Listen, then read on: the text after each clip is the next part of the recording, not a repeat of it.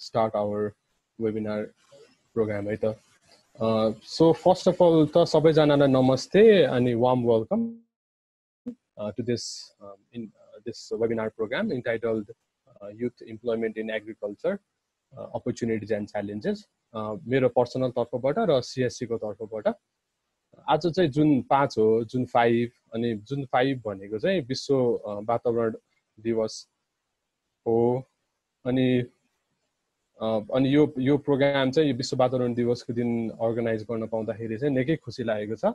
र निकै म चाहिँ निकै हर्षित पनि छु यस कार्यक्रममा सबैलाई स्वागत गर्न पाउँदाखेरि। अलिकति सिएससीको बारेमा भन्नु पर्दाखेरि चाहिँ CSC was establish in two thousand fifteen July two thousand फिफ्टिनमा हामी चाहिँ एउटा research based social think tank भनेर हामी इस्टाब्लिस भएको संस्था हौँ अनि हामी चाहिँ विशेष गरी नेपालको सामाजिक परिवर्तनशील समाजको लागि हामी काम गर्छौँ स्पेसली राजनीतिक र सामाजिक गतिशीलताको विषयमा रिसर्च गर्ने एजुकेसन गर्ने अनि त्यसपछि एडभोकेसी यी यी टुलहरू युज गरेर चाहिँ हामी काम गरिरहेका छौँ।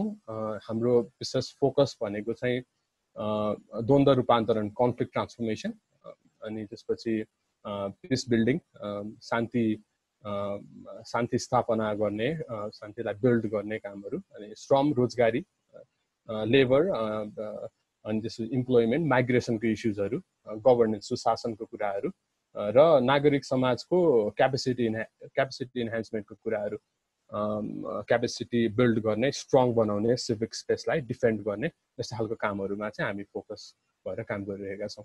र आज चाहिँ हामी हाम्रो one of the working theme labour employment र माइग्रेसन भन्ने हाम्रो वान अफ द वर्किङ थेमको अन्तर्गत बसेर चाहिँ यो वेबिनार कार्यक्रम सञ्चालन गरिरहेका छौँ। त्यसैले फेरि पनि म तपाईँ सबैलाई स्वागत गर्न चाहन्छु। म चाहिँ निश्चल खरालो सो म आज यो कार्यक्रमलाई मैले नै मोटिभेट गरिरहेको छु। मेरो बारेमा अलिकति भन्नुपर्दाखेरि म चाहिँ एक युवा अभियन्ता हुँ। र विगत आठ वर्षदेखि म यो युवाको सेक्टरमा सेक्टरमा युथ इम्प्लोइमेन्ट अनि त्यसपछि युथ इम्पावरमेन्टको इस्युजमा चाहिँ बसेर काम गरिरहेको छु। सिएससीको वान अफ द को फाउन्डर पनि हो सेक्रेटरी पोजिसनमा बसेर काम गरिरहेको छु अहिले। सेसनलाई अगाडि बढाउनु अगाडि I want to like share some के भन्छ इन्फर्मेसन होइन हाउस रुल्सहरू टाइपको विथ अल द पार्टिसिपेन्ट्स हाम्रो यस कार्यक्रम चाहिँ करिब दुई घन्टाको हुनेछ र पहिलो एक घन्टामा चाहिँ हाम्रो तिनजना स्पिकरहरूले बिस बिस मिनटको दरले चाहिँ उहाँहरूले आफ्नो प्रेजेन्टेसन दिनुहुनेछ। प्रेजेन्टेसन पिपिटीको तर्फबाट पिपिटी युज गरेर होस् या उहाँले आफ्नो एक्सपिरियन्सहरू सेयर गरेर उहाँहरूले चाहिँ प्रेजेन्टेसन गर्नुहुनेछ। अब हामी चाहिँ यो अनलाइन मेथड युज गरेको कारणले हामी will not allow any participants to आक्स any question during the यो एक घन्टाको पिरियडमा है त्यो किनभने अनलाइनमा अलिकति डिस्टर्बेन्स हुने कारणले गर्दाखेरि बट एकदम I encourage all the participants to write down the questions in the notebook तपाईँहरूले आफ्नो नोटबुकमा चाहिँ केही हाम्रो प्यानलिस्टलाई क्वेसन छ भने राख्न सक्नुहुनेछ लेखेर अनि पछि चाहिँ हाम्रो क्वेसन एन्सर राउन्डमा चाहिँ तपाईँहरूले सोध्न सक्नुहुनेछ। सो अनि एउटा चाहिँ किन मैले युजली वेबिनारहरूमा हामीले देखिरहेको चाहिँ धेरैजना पार्टिसिपेन्टले च्याट बक्समा पैसा क्वेसन चाहिँ अलरेडी राख्नु राख्नुहुन्छ। त्यसले गर्दाखेरि चाहिँ के इस्यु निस्क्यो भने त्यो हामी च्याट गर्दै जाँदाखेरि च्याट बक्समा पछि भेरियस विषयमा कुरा भइरहेको छ होइन। डिस्कसन भइरहेको हुन्छ यो यो दौरानमा अनि त्यो क्वेसन्सहरू मिसप्लेस हुने देखि देखिएको थियो। त्यही भएर सकेसम्म च्याट बक्समा अग्रिम क्वेसन्सहरू राख्नुभन्दा पनि नोटबुकमा राख्नुभयो भने ठ्याक्क त्यो क्वेसन एन्सर राउन्डमा तपाईँहरूले सोध्न पनि सजिलो हुन्छ र we don't have to scroll up हुन्छ नि looking for the questions so अर्को एउटा एकदम इम्पोर्टेन्ट रुल तपाईँहरूलाई सेयर गर्नुपर्छ अल द पार्टिसिपेन्ट्स आफूले speak if you're not speaking please on like mute your microphone किनभने त्यसले गर्दाखेरि अरू साउन्डहरू आएर डिस्टर्ब हुने गर्छ। र क्वेसन एन्सर सेसनमा चाहिँ you can unmute your microphone अनि you can आक्स to your question if like no body is आक्सिङ the question so without uh, your program, uh, I want to welcome all of my three guest in this webinar program. So उहाँहरूको बारेमा अलिकति भन्नु पर्दाखेरि चाहिँ हामीसँग एकदम तिनजना एकदमै लाइक अमेजिङ युथ्सहरू हुनुहुन्छ। एकदमै वन्डरफुल कामहरू गरिराख्नु भएको इन्सपायरिङ वर्कहरू गरिराख्नु भएको। First of all let me welcome Navita Pradhan Navitaji चाहिँ she is vice president of Nepalese Young Entrepreneurs Forum NYF भन्ने संस्थामा चाहिँ उहाँ भाइस प्रेसिडेन्ट हुनुहुन्छ। She is also MBA graduate from Ace Institute of Management अनि उहाँ चाहिँ लगभग सात वर्षको विदेश बसाइ पछि चाहिँ नेपाल फर्किनु भएको छ। नेपालमा युवाको सेक्टरमा उहाँको एक्सपर्टिज भएको सेक्टरमा चाहिँ काम गर्नको लागि। सो उहाँ चाहिँ उहाँको अर्गनाइजेसन छ हाइड्रो सल्युसन ग्रुप भन्ने। अनि उहाँ चाहिँ हाइड्रो पावरको म्यानुफ्याक्चरिङ एजुकेसन हाउसिङ टुरिज्म सेक्टरमा चाहिँ उहाँ काम गर्नुहुन्छ सो उहाँले चाहिँ हाइड्रो पावरमा हाइड्रो सल्युसन ग्रुपमा इन्टरनेसनल पार्टनरसिप र कम्युनिकेसन हेर्नुहुन्छ अनि she is also involve in manufacturing of the unit of the group अनि she is also involve with investment in various startup project अनि that helps to build like local creative startup प्रोजेक्टहरूमा चाहिँ उहाँले invest पनि गर्नुहुन्छ अनि she is focused on empowering positive business thinking among Nepalese youth So त्यसै गरी हाम्रो अर्को प्यानलिस्ट हुनुहुन्छ हामीसँग अरविन्द शाह एकदम well known name in the field of technology होइन? अरविन्द शाह चाहिँ co founder and director of Khalti mobile app होइन? अनलाइन पेमेन्ट सिस्टम हुनुहुन्छ। So I think everybody know about Khalti. And he has about 12 years long experience in the field of technology र इनोभेसनको फिल्डमा अनि he is also co founder of Janaki technology so यो Janaki technology भन्ने चाहिँ उहाँहरूको यो यो प्यारेन्ट कम्पनी हो यो स्पेसल्ली स्प्यारो एसएमएस अनि खल्ती अनि उहाँहरूको अरू यो पिको भिको भन्ने यस्तो खालको कम्पनीजहरूको चाहिँ प्यारेन्ट कम्पनी हो होइन? उहाँ त्यसको पनि को फाउन्डर हुनुहुन्छ। Uh, he has completed his bachelor's in uh, engineering, uh, computer engineering from Pulsok University in 2008. त्यस्तै गरी हामीसँग हाम्रो अर्को प्यानलिस्ट हुनुहुन्छ Bhuwan केसीज्यू। Bhuwan KC is a is an eco entrepreneur को founder and CEO of organic farm Kathmandu organic sorry he has a decade-long experience in the field of development and environmental sustainability. His initiative, Kathmandu Organics, has been able to connect farmers and customers directly through fair pricing, use of technology, and logistic solutions.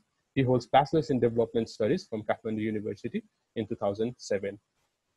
So, अब यो त भयो हाम्रो panel प्यानलिस्टहरूको introduction so अब म वेबिनारलाई delay नगरिकन directly हाम्रो डिस्कसन प्रेजेन्टेसन प्यानलिस्टहरूको प्रेजेन्टेसनतिर लग्छु। First of all I want to start with Arvind ji. So Arvind ji it is why you believe that inability to modernize agriculture process के is hindering young people to embrace agriculture career हाम्रो एग्रिकल्चरमा जहिले पनि देखिएको चाहिँ modernisation भएन। अनि त्यस्तै भएर चाहिँ यो कन्भेन्सनल मेथडबाटै एग्रिकल्चर गर्नुपर्ने भएको कारणले गर्दाखेरि युवाहरू त एट्र्याक्ट नहुने एउटा बिग रिजनै त्यही हो होइन? सो कसरी चाहिँ हामीले how can be modernize this agriculture system के? जुन चाहिँ हाम्रो यो traditional labour based एग्रिकल्चरबाट how can be transfer to technological based agriculture in Nepal होइन? अनि how can her kind of dimension technology can create in enhancing agriculture sector अनि यो अब लाइक हामीलाई एकदमै क्लियरली थाहा नै छ गभर्मेन्ट अफ नेपालले पनि एग्रिकल्चरलाई एकदम प्रमोट गरिरहेको छ अहिलेको कन्टेक्समा स्पेसली पोस्ट कोभिड उसमा कन्टेक्समा so how can be inspire a new generation to integrate technology in agriculture होइन? तपाईँको आफ्नो एक्सपिरियन्स र आफ्नो अब सक्सेस फेलियर स्टोरिज के छ त्यसबाट तपाईँको प्रेजेन्टेसन अगाडि बढाउनु होला। धन्यवाद निश्चलजी सुन्दै हुनुहुन्छ? मेरो आवाज आयो? धन्यवाद। यो आज बडा खुसी लाग्यो। इन्भाइरोमेन्ट डे र सिएससीले यस्तो अवस्थामा पनि युथहरूलाई कसरी चाहिँ इम्पावर गर्न सकिन्छ? एग्रिकल्चरमा या स्टार्टअपमा क इको सिस्टममा कसरी ल्याउन सकिन्छ? जस्ता काम गर्नुभएको छ त्यसको लागि एकदमै धन्यवाद। र साथै इन्ट्रेस्ट राखेर तपाईँहरूले आइदिनु तपाईँहरू हाम्रो कुरो सुन्नलाई आउनुभयो या आफ्नो क्वेरिजहरू राखेर अगाडि केही भनौँ न गर्ने इच्छा राख्नु भएकोमा पनि शुभकामना र धन्यवाद दिन चाहन्छु। म एउटा अब जसरी हाम्रो निश्चलजीले भन्नुभयो मेरो म एज अ आइटी सेक्टरमा एसपाइरो एसएमए पिको भिको छ होइन? त्यो बाहेक चाहिँ म एकछिन है म आफ्नो स्लाइड नै सेयर गर्छु। स्लाइड चाहिँ डिसेबल गरेको छ। सेयर गर्न मिल्छ र? कि के छ? ओके स्लाइड पवन दाईले यसमा अलिकति पवन दाई यो हेरिदिनु न एकचोटि। अरविन्द चाहिँ एकछिन है पवन दाईले त्यहाँ मिलाउनुहुन्छ होला सिटिङ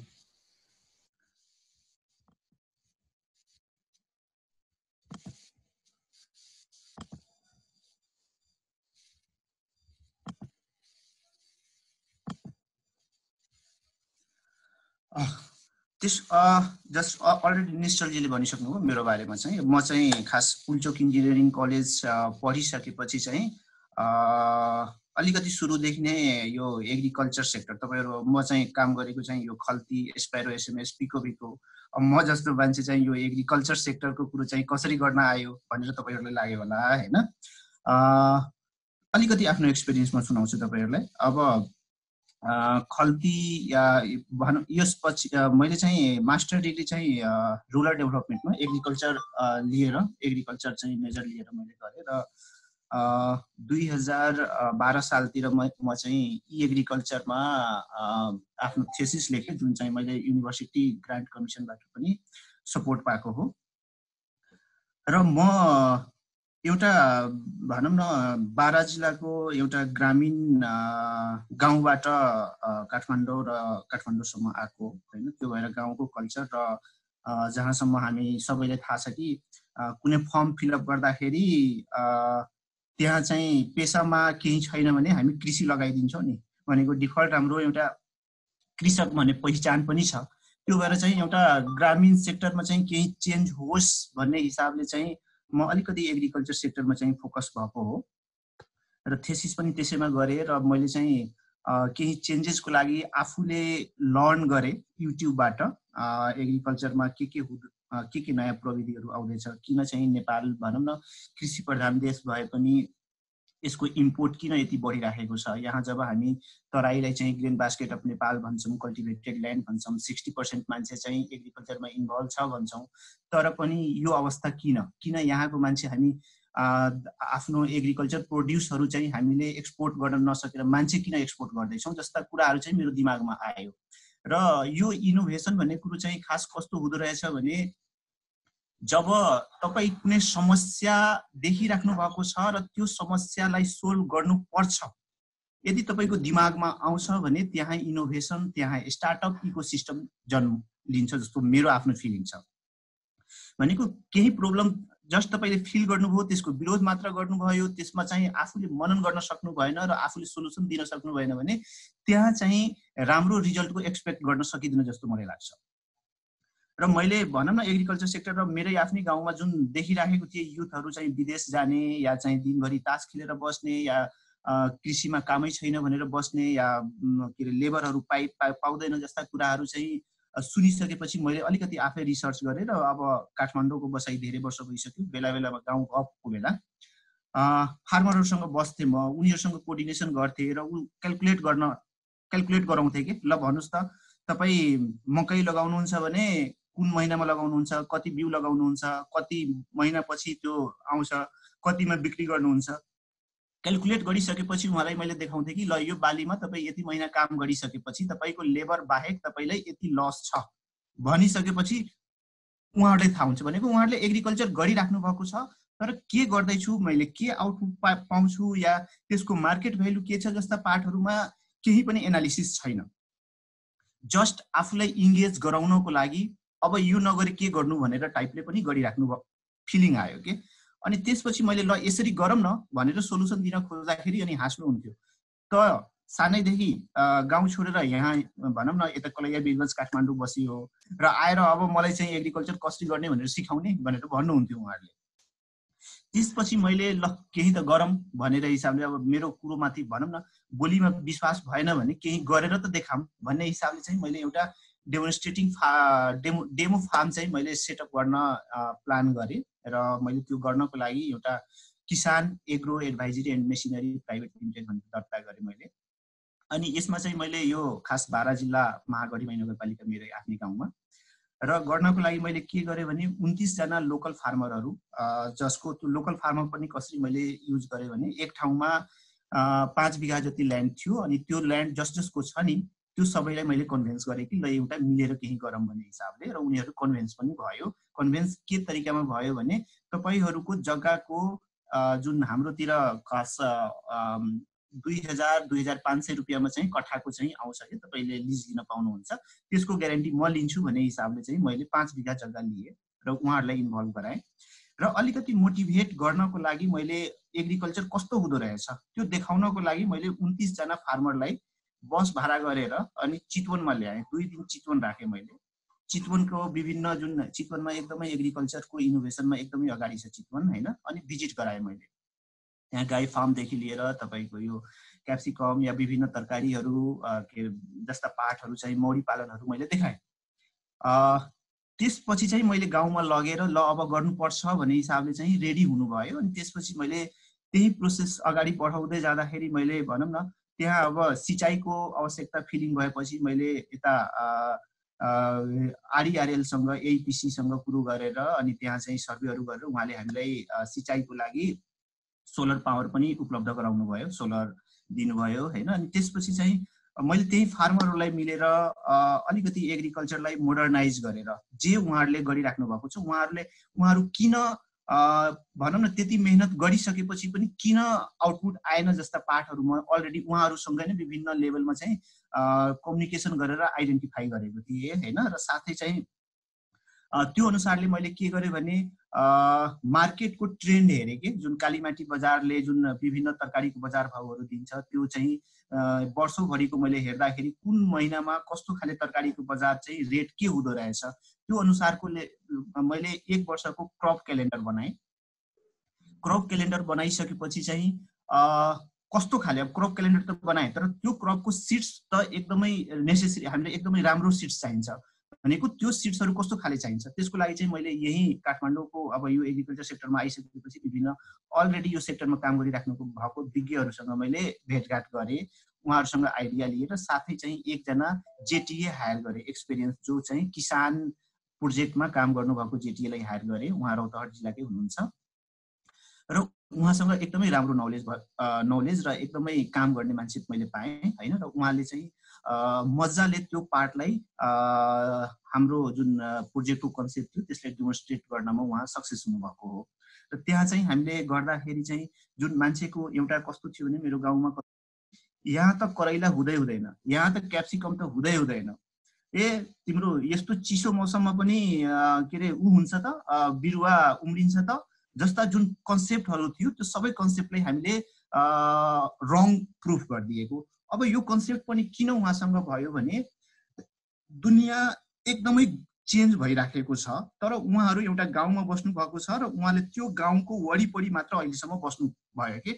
चेन्जेस उहाँले अनुभव नै गर्नु भएन कि? अब नयाँ के भइराखेको छ? के रिक्वायरमेन्ट छ जस्ता पार्टहरू उहाँले जे भनौँ न वर्षौँ वर्ष अगाडि जे कुरो देख्नु भएको छ त्यही कुरो नै अहिले पनि इम्प्लिमेन्ट गर्न खोज्दाखेरि चाहिँ उहाँहरूले फेल भइराख्नु भएको मेरो आफ्नो भनौँ न लर्निङ भइसकेपछि त्यसलाई चाहिँ मैले विभिन्न मोडर्न टेक्नोलोजीहरू जस्तै तपाईँको नर्सरी म्यानेजमेन्टको लागि चाहिँ यो हाउसहरू स्प्रिङ्कलरहरू होइन ड्रिप इरिगेसनहरू मैले चाहिँ यो उसको लागि यो क्रपहरूको लागि युज गरेँ मल्चिङहरू गरेँ।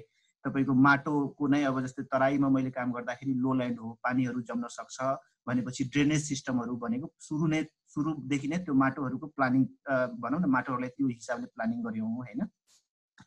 र फोकस क्रपहरू भनौँ न त्यो मार्केटको ट्रेन्ड हेरेर कुन बेला कस्तो खाले क्रप तराईमा चाहिँ एउटा कस्तो हुन्छ भने एक्सट्रिम हुन्छ क्या तपाईँको भनौँ न एकदमै गर्मी हुने या एकदमै चिसो हुने एकदमै पानी पर्ने हुँदाखेरि चाहिँ अफ सिजनल भेजिटेबल चाहिँ अलिकति गाह्रो जस्तो फिल भयो मलाई होइन? त्यो भएर अर्ली र लेट हामी त्यो बेला फोकस गऱ्यौँ होइन? र त्यो बेलाको एक्सपिरियन्स चाहिँ जस्तै एक कट्ठा जग्गामा चाहिँ मैले करैला उत्पादन गर्दाखेरि लगभग साठी हजारभन्दा बढीको करैला हामीले बिक्री गर्न सफल भएको थियौँ। र टोटल पाँच बिघामा हामीले डिफ्रेन्ट टाइपको क्रपहरू लगायौँ अलिकति रिसर्च बेस्ड पनि काम भयो त्यो ठाउँमा चाहिँ। र त्यसै हामीले काम गऱ्यौँ होइन?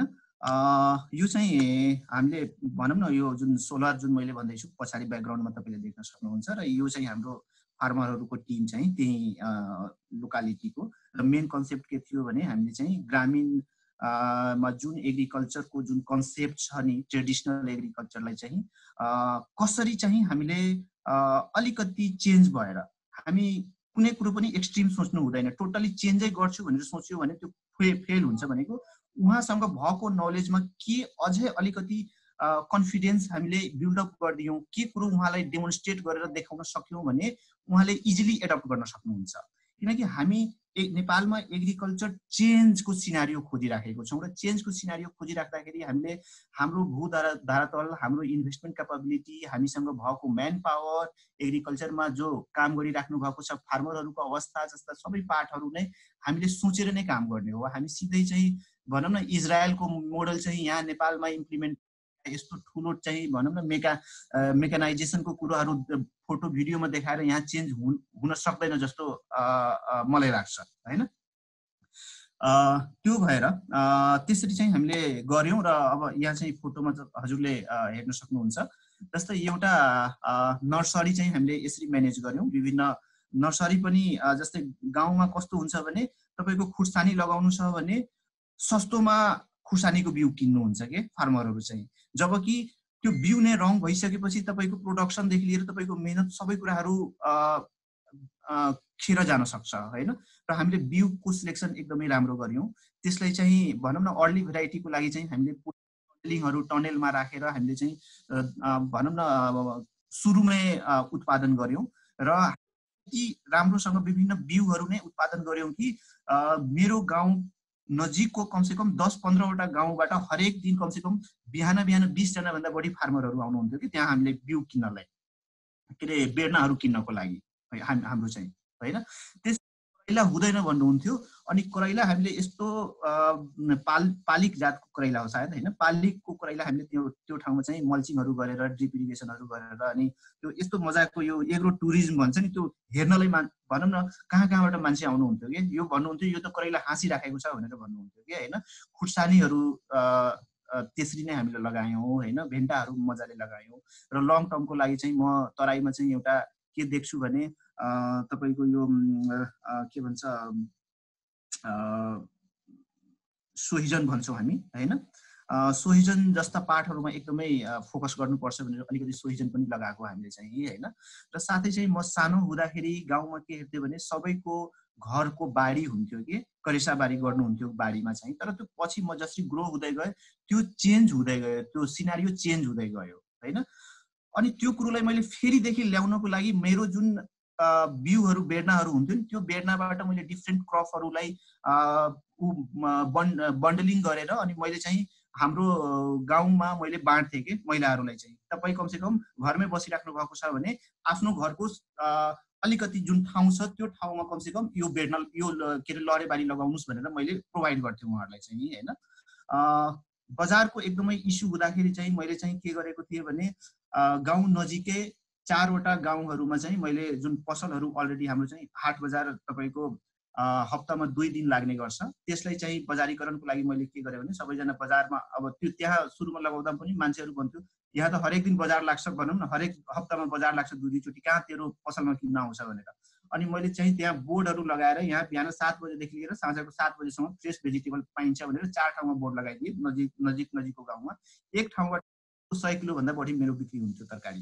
र मान्छेहरू बजार जान छोडिदिन्थ्यो कि? किनकि एभ्री डे मेरो ताजा तरकारी त्यहाँबाट किन्न पाउँथ्यो होइन? मेकानाइजेसनको लागि मैले चाहिँ अब त्यो ठाउँमा ट्र्याक्टर किन्ने खर्च गर्दाखेरि मैले काठमाडौँबाट नै पावर टिलर पठाएको थिएँ होइन? र एउटा कम्प्लिट भनौँ न भ्यालु चेनमा चाहिँ ल्यान्ड म्यानेजमेन्टदेखि लिएर यो भनौँ न टेक्नोलोजीहरू ड्रिप इरिगेसन या जुन गर्ने सोच्ने क्यालकुलेट गर्ने एक्टिभिटिजलाई रेकर्ड गर्ने जस्ता जुन पार्टहरू छ त्यो फार्मर ट्वेन्टी नाइनजना फार्मरहरूसँग नै मिलेर काम गरायौँ र एकजना त्यो फोटोमा हेर्दै हुनुहुन्छ त्यो एकजना जुन नर्सरीमा या जो पावर टिलर चलाउँदैछ त्यो भाइलाई चाहिँ मैले के भनेको थिएँ भने फार्ममा नै तिम्रो जेटिएको पढाइ हुन्छ प्र्याक्टिकल जेटिए हुन्छ भनेर उसले चाहिँ उसलाई मैले पैसा पनि दिन्थेँ र टोटल्ली फुल्ली उस त्यहीँ बस्थ्यो त्यहीँ सिक्थ्यो र अहिले एकदमै राम्रो छ। र एउटा कम्प्लिट एग्री भ्यालु चेन्ज सोल्युसन्समा मैले काम गरेर फार्मरलाई मोटिभेट गरेँ त्यो ठाउँमा र त्यसपछि तिनीहरू आफ्नो खेतमा पनि त्यो पार्ट गर्न थाल्यो। अब यो मैले धेरै काम गर्न पाएन मैले जम्मा एक वर्ष बुझ्नुहोस् कि मैले काम मात्र गरेको हो। एक वर्षमा पनि म काठमाडौँमा बसेर रिमोटली काम गरेको हो र त्यो पनि फोनबाट काम गरेको हो र त्यहाँ जो मेरो जेटिए हुनुहुन्थ्यो उहाँले एक्जिक्युट गर्न ट्राई गर्नुहुन्थ्यो। तर तर पनि मैले भनौँ न त्यो लेभलसम्म काम गरिसक्दाखेरि मलाई खुसी लाग्यो र मैले त्यसलाई सम्मान पनि मैले एउटा दुईवटा अवार्डबाट पनि सम्मानित भएँ म तपाईँको एउटा सुप्रविध नवीकरणीय ऊर्जा पुरस्कारबाट अनि साथै चाहिँ म अर्को यो क्लाइमेट लन्च प्याड नेपालको एउटा कम्पिटिसन हुँदाखेरि त्यहाँ पनि फाइनलिस्टमा म जितेको हो। र यो प्रोजेक्टलाई चाहिँ हामीलाई अल्टरनेटिभ इनर्जीको आरइआरएल भन्ने छ त्यो चाहिँ आरइआरएल रिन्युबल इनर्जीको रुरल लिभलीहुड भन्ने यो युएनडिपी र जेफको उसमा हो सपोर्टमा र साथै किसान र ट्वेन्टी नाइनजना फार्मरहरू हामी मिलेर यो काम गरेको हो होइन? यो फार्म यसको मेन आउटपुटबाट म एक एक वर्ष र थोरै आफ्नो टाइम दिएर जुन मैले आफ्नो गाउँमा एउटा चेन्ज जुन मान्छेको पर्सपेक्टिभ जुन ट्रेडिसनल योभन्दा बाहेक त केही हुँदै हुँदैन जुन मान्छेको जुन सोच थियो जुन मैले बोलीबाट उनीहरूलाई सम्झाउन खोज्थेँ र उनीहरू मान्दैन थियो त्यो सोच मैले परिवर्तन गर्न सफल भएँ। तर पनि त्यो त्यो जुन म एक वर्षमा त्यो पनि थोरै टाइम दिएर जुन सफल भयो त्यो पहिला किन भएन भन्ने कारण के हो भने जो फार्मरहरू काम गर्दै हुनुहुन्छ जो फार्मर चाहिँ जुन बाहिर दुनियाँमा के चेन्जेस भइराखेको छ यहाँ इन्टरनेट टेक्नोलोजीको एक्सेसदेखि लिएर नयाँ प्रविधिको ज्ञान छैन उहाँहरूसँग हामी यहाँ काठमाडौँमा बसेर चाहिँ मोबाइल एप बनाइदिन्छौँ हामी यहाँ बसेर हामीले ब्लक चेनका कुराहरू गर्छौँ हामी बसेर स्मार्ट कन्ट्र्याक्टका कुराहरू गर्छौँ। मलाई लाग्छ कि त्यो सबै एग्रिकल्चर को जुन हामीले भन्छौँ नि आत्मनिर्भर एग्रिकल्चर भनेर त्यो सबै चाहिँ एग्रिकल्चरमा हामीले झन् परनिर्भरता बढाउँछ जस्तो लाग्छ फ्रस्ट्रेसन बढाउँछ जस्तो लाग्छ मलाई त्यो पार्टहरू किनकि रिसोर्सेस र हामी आफ्नो अवस्था हेरेर मात्र मैले लाग मलाई लाग्छ एप्रोप्रिएट टेक्नोलोजीको युज गर्नुपर्छ जस्तो लाग्छ मलाई। र त्यो पार्टमा अब मैले अब म पछि किन कन्टिन्यू गर्न सकिनँ भन्ने कारण के हो भने कुनै पनि बिजनेस यदि तपाईँ हामी गर्छौँ भने त्यसमा चाहिँ फुल्ली यदि हामीले टाइम दिन सकेनौँ भने त्यसले राम्रो आउटपुट दिन सक्दैन र मेरो पनि समस्या के भयो भने यहाँ चाहिँ आफ्नो आफ्नै बिजनेस र मेरो अलिकति हेल्थको समस्या भएकोले गर्दाखेरि मैले लगभग छोडेर म आफ्नो त्यो काम चाहिँ बुवालाई हस्तान्तरण गरिसकेको छु र बुवाले अहिले केही नभए पनि मलाई काठमाडौँमा बेला बेला गाडी चाहिँ पठाइराख्नुहुन्छ। र मलाई के लाग्छ भने जसरी मैले एउटा सानो समय दिएर नै अलिकति एउटा चेन्जेस ल्याउने एक्सपेक्टले मैले आफ्नो गाउँमा जुन गरेँ त्यो पार्टलाई यदि युथले साँच्चै यसलाई अपर्च्युनिटी लिएर यदि काम गर्नुहुन्छ भने मलाई लाग्छ कि एकदमै यसलाई एज अ बिजनेस लिएर यदि काम गर्नुहुन्छ भने एकदमै अपर्च्युनिटी छ। र एग्रिकल्चरमा च्यालेन्ज चाहिँ छैन भन्न सकिँदैन। किनकि एग्रिकल्चर कस्तो कुरो यसमा चाहिँ हाम्रो आफ्नो रुल केही पनि हुँदैन। जस्तै प्रोडक्सनको लागि पनि त्यो मौसमको डिपेन्डेन्सी हुन्छ भने बजारको लागि चाहिँ बजारको भाउमा डिपेन्डेन्सी हुन्छ। होइन? यो कुरोले गर्दाखेरि यो यो पार्टलाई मलाई लाग्छ कि अहिले जुन जसरी हामीले जुममा मिटिङमा बसेको छौँ यो यो ग्रुप भनेको जसरी हामीले जुममा भएको छौँ भने हामीले टेक्नोलोजी कुन एडप्ट गर्नुपर्छ त्यो लेभलको हामीले रिसर्च गर्न सक्छौँ र त्यसरी चाहिँ हामीले काम गर्न सक्छौँ जस्तो लाग्छ मलाई। तर यसको लागि चाहिँ हाम्रो एटिच्युड पोजिटिभ हुनु पर्यो र एग्रिकल्चर एज अ एउटा बिजनेसको पार्टमा मान्नु पर्यो र यसलाई एउटा कन्टिन्युस इफोर्ट यदि दिन सक्यो भने यसमा हामी सफल हुन सक्छौँ। र अहिले सिनारियो जुन मैले भने हामी चाहिँ कृषि प्रधान देश भन्छौँ या अरू भनौँ न आत्मनिर्भरताका कुराहरू गर्छौँ तर सिनारियो के छ? जसरी चाहिँ मैले अब गभर्मेन्टको इन्भेस्टमेन्ट जसरी इन्क्रिज हुँदै गयो जो जीले भन्नुभयो एग्रिकल्चर गभर्मेन्टको प्रायोरिटीमा छ। लास्ट इयर पनि प्रायोरिटीमा थियो तर के भयो भन्ने कुरो चाहिँ ग्राफले देखाउँछ कि जसरी गभर्मेन्टको प्रायोरिटी बढ्दै गइराखेको छ त्यसरी नै एग्रिकल्चरको इम्पोर्ट पनि बढ्दै गइराखेको छ। यो हुने कारण चाहिँ के भइदियो भने एउटा बिहेभियर चेन्ज भयो। हाम्रो चाहिँ खाने बिहेभियर चेन्ज भयो पपुलेसनको ग्रोथ त्यही अनुसारले भयो र हामीमा चाहिँ एग्रिकल्चरमा भनौँ न फिल्डमै गएर काम गर्ने प्रब्लम सोल्भ गर्नुभन्दा पनि एग्रो एन्टरप्रेनर भन्दा पनि ग्रान्ड प्रेनर चाहिँ हामीभित्र धेरैजना भयो जस्तो फिल भयो मलाई होइन? र एटिच्युडहरूको प्रोब्लमहरू भनौँ न यसलाई पनि एग्रिकल्चरलाई पनि एउटा बिजनेस र फिल्ड वर्क जस्ता पाठहरू नभएर पनि एग्रिकल्चरमा यो जुन ग्रोथ जुन छ नि ग्रोथहरू बढ्दै गएको हो। भनेको यो इम्पोर्टको ग्राफ यदि हेर्दाखेरि चाहिँ हामीले के बुझ्नुपर्छ भने यहाँ अपर्च्युनिटी एकदमै छ। खालि यसलाई चाहिँ हामीले आफ्नो बिहेभियर र आफ्नो के अरे एटिच्युडमा मात्र प्रब्लम के अरे एटिच्युड मात्र चेन्ज गऱ्यौँ भने यसले चाहिँ राम्रो रिजल्ट ल्याउन सक्छ र युथलाई एउटा राम्रो इम्प्लोइमेन्ट जेनेरेट गर्न सक्छ र युथलाई मात्र होइन जुन अब कोभिडले गर्दाखेरि जुन माइ रिटर्नीहरू जुन हुन्छ उहाँहरूलाई पनि एक लेभलमा चाहिँ एकदमै सपोर्ट गर्न सक्छ। र एग्रिकल्चरको यदि इम्पोर्टको ग्राफ यदि हेर्नुहुन्छ भने इयर वाइज यसरी इन्क्रिज हुँदै गएको छ र के के कुराहरूमा छ यो ग्राफले यो फोटोले देखाउँछ तपाईँलाई होइन? दुई हजार बाह्रदेखि दुई हजार अठारसम्मको यो ग्राफ चाहिँ एक्सपोनेन्सियली इन्क्रिज हुँदै गएको छ। र अहिले चाहिँ अब एउटा अपर्च्युनिटी पनि छ यो कोभिडले गर्दाखेरि भनौँ न अब मान्छेहरू माइग्रेन्टहरू चाहिँ अब रिटर्न हुँदैछ र सबैको एक्सेस इजी एक्सेस भनेको एग्रिकल्चर नै हो। र उहाँहरू पनि विदेशमा कोही एग्रिकल्चरमै काम गरेर आउनुभएको होला भनेको त्यो लेभलको हामीसँग टेक्निकल म्यान पावर पनि एभाइलेबल हुन्छ भने कोही चाहिँ पैसा कमाएर होइन म त अलिकति टेक्नोलोजीमा पनि इन्भेस्ट गर्छु भन्ने टाइपको पनि हुन्छ।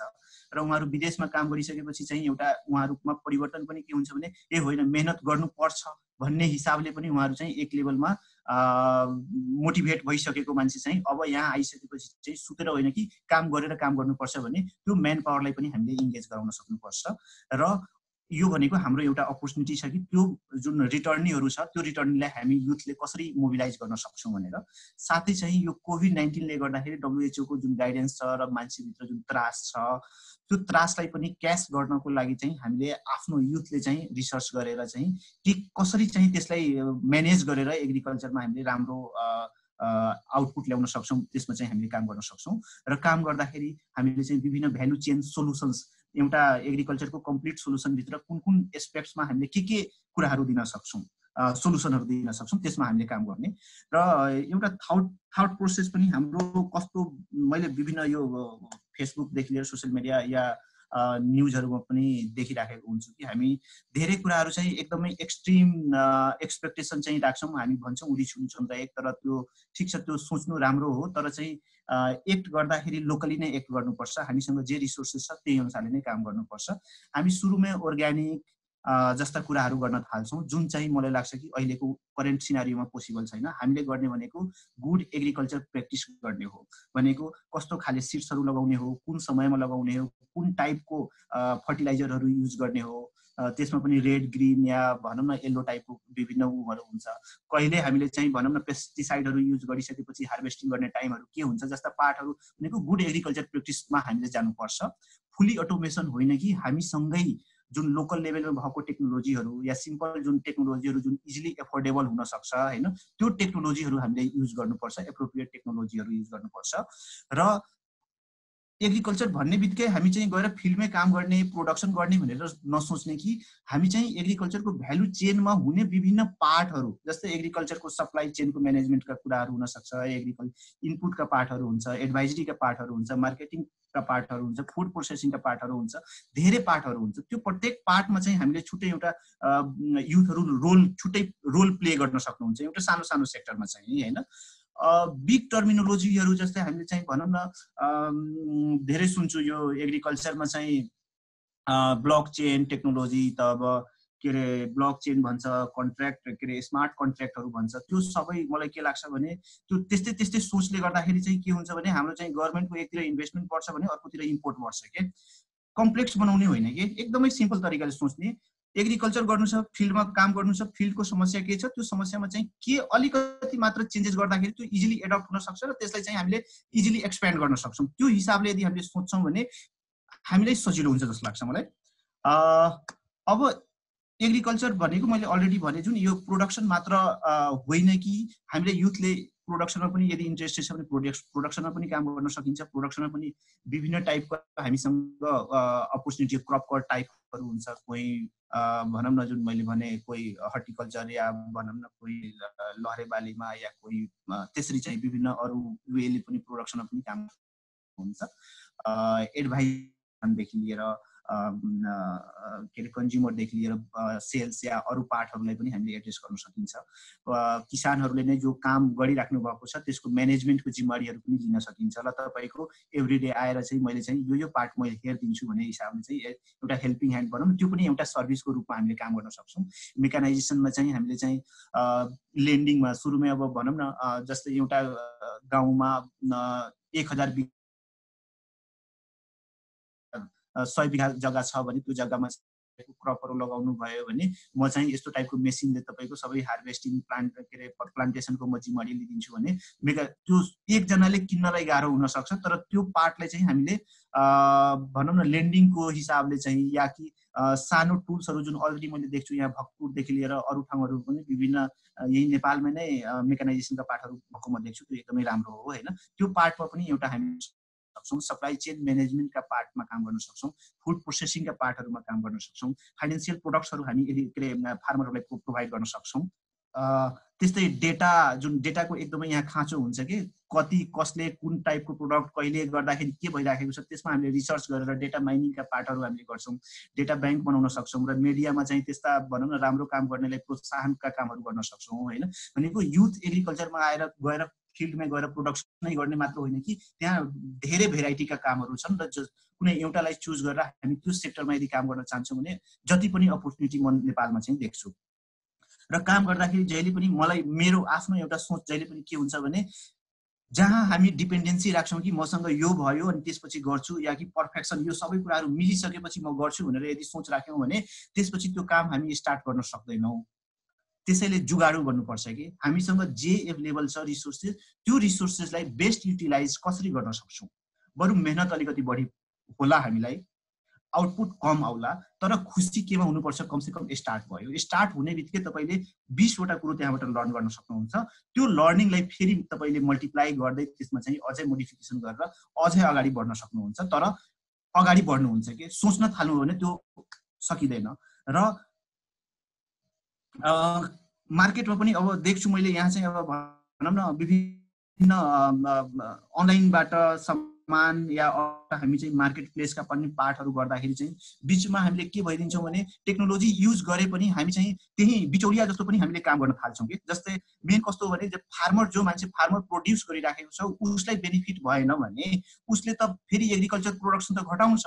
भन्न खोजेको हामी चाहिँ जहिले पनि के सोचिदिन्छौँ भने फार्मरसँग दस रुपियाँमा लिएर अनि काठमाडौँमा ल्याएर या कि अरू तरिकाले म चाहिँ त्यो साठी रुपियाँमा बिक्री गर्छु र बाँकीको सबै बेनिफिट म मात्र खान्छु भनेर बिचौलियाको जुन हाम्रो कन्सेप्ट छ त्यो चाहिँ हटाउनु पर्छ र त्यो आफ्नो जुन बेनिफिटमा चाहिँ फार्मरहरूको पनि सहभागिता राख्नुपर्छ सो द्याट फार्मर पनि मोटिभेट होस् र कन्ज्युमरलाई पनि बढीभन्दा बढी कन्ज्युमरले एडप्ट सर्भिस एडप्ट गरोस् या बढी बढीभन्दा बढी तपाईँको सर्भिस चाहिँ फार्मरले एडप्ट गरोस् त्यो क्लाइन्ट चाहिँ बढीले एडप्ट गरोस् तपाईँको मार्जिन कम होस् होइन? त्यो हिसाबले यदि हामीले प्लानिङ गर्छौँ भने त्यसले चाहिँ एउटा राम्रो इको सिस्टम बनाउन सक्छ जस्तो लाग्छ मलाई। र त्यही अनुसारले हामीले प्लानिङ गर्नुपर्छ। र टेक्नोलोजी र यसको युजेस यदि एग्रिकल्चर सेक्टरमा भन्ने हो भने तपाईँको जुन वर्क एक्टिभिटिज यो किन गरिन्छ भने सिम्प्लिफाई आफ्नो कामको सिम्प्लिफाईको लागि। जस्तै अब कम्युनिकेसन र म्यानेजमेन्टमा हामीले आइसिटी टेक्नोलोजीहरू हामीले युज गरिराखेको हुन्छौँ। प्रोडक्सनमा चाहिँ विभिन्न भनौँ न त्यो एनालिसिसको पार्ट जुन भने नि मैले तपाईँलाई सिट्सहरू कस्तो टाइपको हुनुपर्छ या कुन बेला कस्तो टाइपको हामीले युजहरू गर्नुपर्छ होइन? हार्भेस्टिङका टुल्सहरू के के फुड प्रोसेसिङ हामीले कसरी गर्ने त्यसलाई प्याकेजिङ कसरी गर्ने मार्केटिङ र ब्रान्डिङ कसरी गर्ने भनेको टेक्नोलोजी मलाई के लाग्छ भने जति पनि एभाइलेबल छ हामीसँग। टेक्नोलोजी हामीसँग एभाइलेबल छ होइन? खालि के कुरो मात्र हो भने हामीलाई के चाहिएको छ? टेक्नोलोजी जस्तै अहिले हामी भनौँ न के यो जुम आज थोरै आएको हो जुम त धेरै पुरानो छ। तर अहिले यसको आवश्यकता हामीलाई पर्यो र आज हामी सबैजना जुममा छौँ नि त। होइन? भनेको मलाई के लाग्छ भने जे टेक्नोलोजी हामीले चाहिएको छ त्यो टेक्नोलोजी सबै एभाइलेबल छ। खालि के कुरो हो भने यो टेक्नोलोजी फार्मर फार्मरको लागि के चाहिएको हो सप्लायरको लागि के चाहिएको छ लागि के चाहिएको छ म्यानेजरको लागि के चाहिएको प्रोड्युसरको लागि के चाहिएको कन्ज्युमरको लागि के चाहिएको कुन बेला के चाहिएको हो त्यो पार्टमा चाहिँ मलाई लाग्छ कि युथले एउटा राम्रो भूमिका खेल्न सक्नुपर्छ र यसलाई चाहिँ एउटा अपर्च्युनिटीको रूपमा अगाडि बढाउनु पर्छ र टेक्नोलोजी तपाईँको एभाइलेबल जुन मैले अलरेडी भने आइसिटीको टेक्नोलोजी अलरेडी भनौँ न ए नेपालको यदि मोबाइल पेनिट्रेसन हेर्नुहुन्छ भने एकदमै सबै रुरलदेखि रिमोट एरियासम्म पुगिसकेको छ। फोर जी थ्री जी तपाईँको ब्रोडब्यान्ड इन्टरनेटहरू स्मार्टफोनहरू सबै पुगिसकेको छ होइन? त्यस्तै अब डिजिटल पेमेन्टका कुराहरू पनि आइसकेको छ यदि अनलाइन मार्केट प्लेसका पार्टहरू पनि यदि गर्ने हो भने। मेकानाइजेसनको पार्टमा पनि अलरेडी म नेपालमा देख्छु कि होइन? मजाले त्यो लेभलको विभिन्न हाते ट्र्याक्टरदेखि लिएर सानो टुल्सहरूदेखि लिएर एभाइलेबल नै छ होइन? ट्रेडिसनल टुल्सहरू जुन पहिलादेखि नै गाउँमा जुन एभाइलेबल छ भनेको टेक्नोलोजीमा मलाई लाग्छ कि त्यस्तो खास केही पनि समस्या छैन। समस्या कहाँ छ भने कुन कुरो कुन ठाउँमा चाहिन्छ त्यसलाई बन्डलिङमा समस्या छ। डेटा माइनिङमा समस्या छ। हाम्रो इफोर्टमा समस्या छ। हाम्रो एटिच्युडमा समस्या छ। हाम्रो कृषिप्रतिको सोचमा समस्या छ। र मलाई लाग्छ कि त्यो यदि युथले यदि सोच्छ कि होइन एग्रिकल्चर पनि एउटा बिजनेस हो र यसको एग्रिकल्चरको विभिन्न भर्टिकलहरू छ र यो भर्टिकलमा यदि मैले यदि काम गरेँ भने एग्रिकल्चर एज अ बिजनेसको एउटा इको सिस्टम बन्न सक्छ र त्यसमा चाहिँ एउटा त्यो इको सिस्टम त्यो भ्यालु चेनमा चाहिँ सबै पार्टीहरू लाभान्वित हुन्छ र एउटा जुन नेपाल गभर्मेन्टको पनि जुन कन्ट्रिब्युसन जुन अर्ब अर्ब रुपियाँको जुन लगानी भइराखेको छ त्यसले चाहिँ एउटा राम्रो फ्रुटफुल रिजल्ट आउन सक्छ र जुन यो ग्रान्ड ट्रेनरहरू पनि त्यहाँबाट हराउन सक्ने सम्भावना बढी हुन्छ होइन? त्यो भएकोले गर्दाखेरि यो देशको नै एउटा जुन गभर्मेन्टको नै एउटा जुन चाहना छ एग्रिकल्चरलाई कमर्सियलाइज गर्ने र हामीले चाहिँ परनिर्भरता हुनुपर्छ जुन आत्मनिर् आत्मनिर्भर परनिर्भर हटाउनुपर्छ आत्मनिर्भर हुनुपर्छ जुन गभर्मेन्टको चाहना छ त्यसलाई साकार गर्नको लागि चाहिँ भएको रिसोर्सेसहरू लाई मजाले युज गर्नको लागि चाहिँ होइन युथहरू यसमा अगाडि आउनुपर्छ जस्तो लाग्छ मलाई। यति नै हो। धन्यवाद। तपाईँहरूलाई केही भयो भने एक घन्टा पछि जुन हाम्रो निश्चलजीले भन्नुहुन्छ त्यहाँ चाहिँ म एभाइलेबल हुन्छु सोध्नुहोला okay thank you very much Arvindji for your wonderful presentation एकदम इन्ट्रेस्टिङ प्रेजेन्टेसन हजुरले आफ्नो स्टोरीलाई कसरी चाहिँ अलिकति थ्योरिटिकल ब्याकग्राउन्डसँग लिङ्क गरेर चाहिँ युथहरूलाई अलिकति मोटिभेटिङ फ्याक्टर मोटिभेटिङ एनालाइसिस प्रदान गरिदिनु भयो होइन?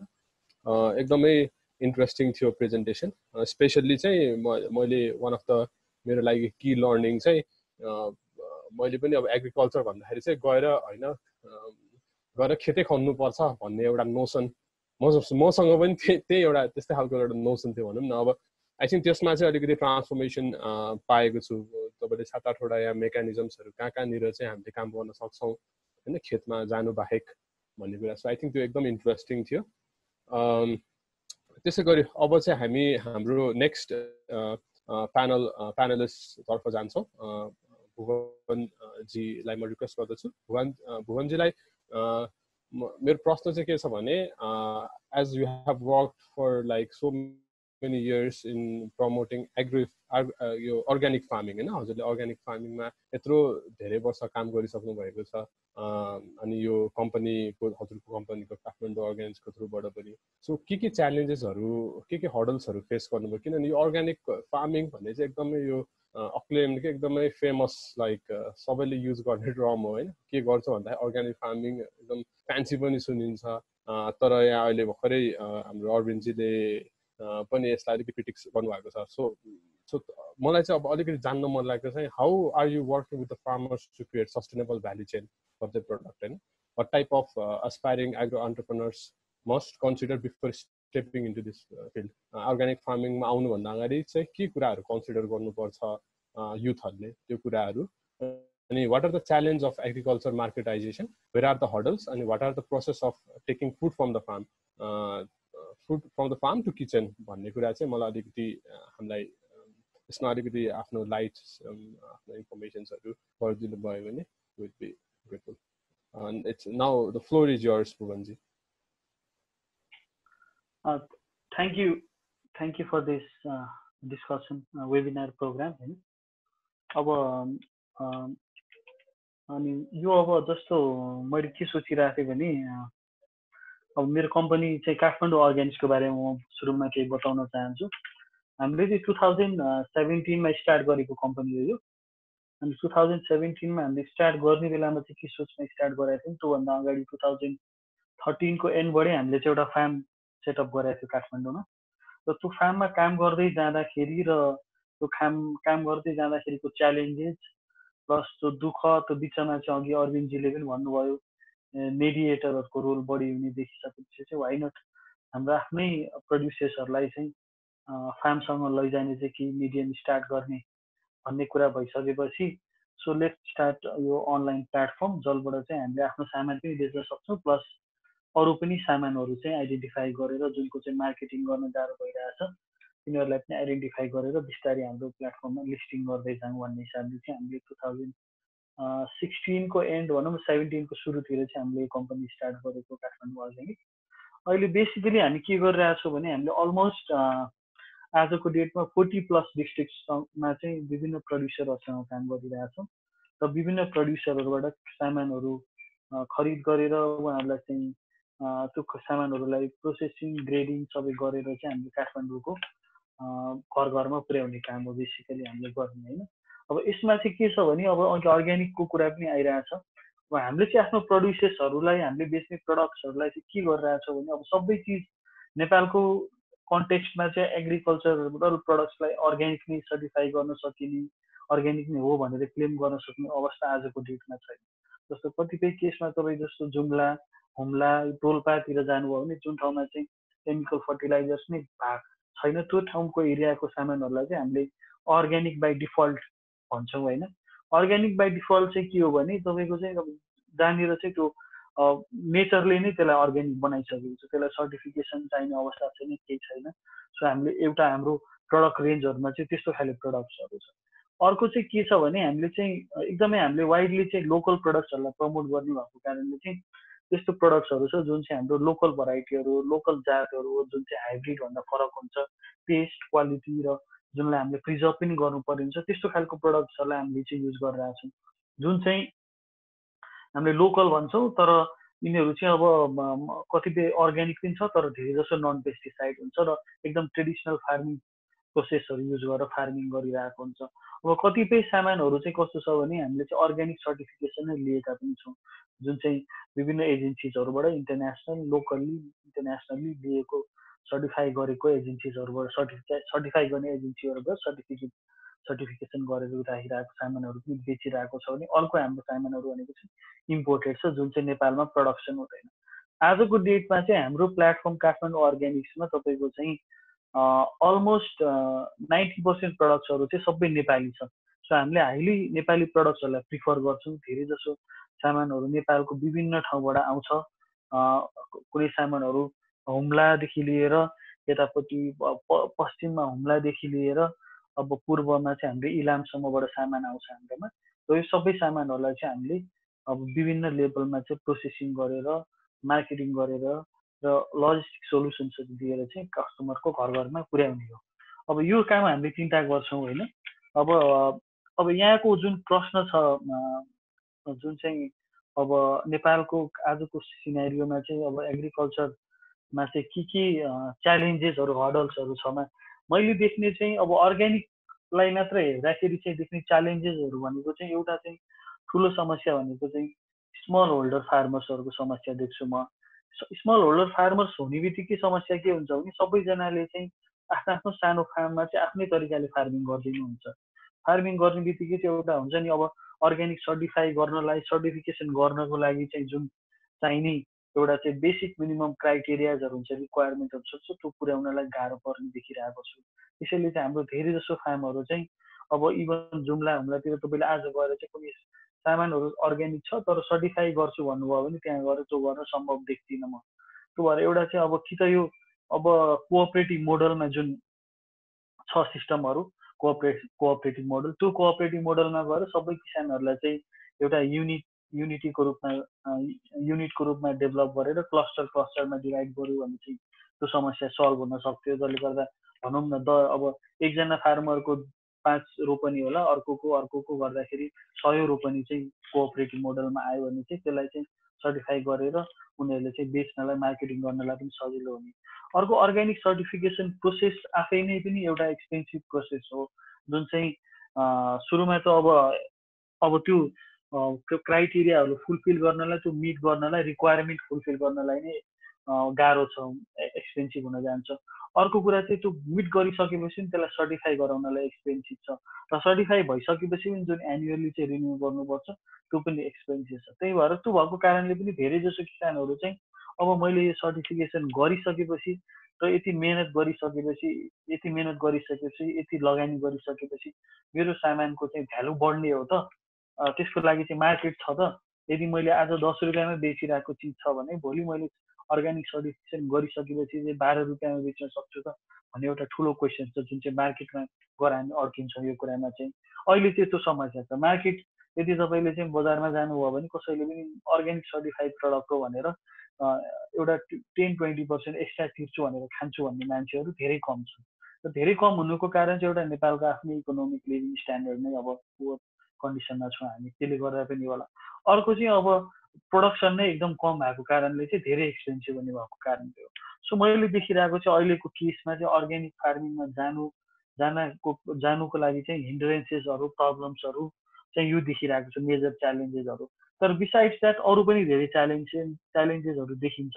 जस्तो अब लजिस्टिक च्यालेन्जेसहरू छ सामानहरू नेपालको अब रोड कन्डिसनहरू अप्ठ्यारो खालको भएको कारणले चाहिँ बाटोहरू धेरै ठाउँमा पुगेको छैन सामान ल्याउन गाह्रो छ।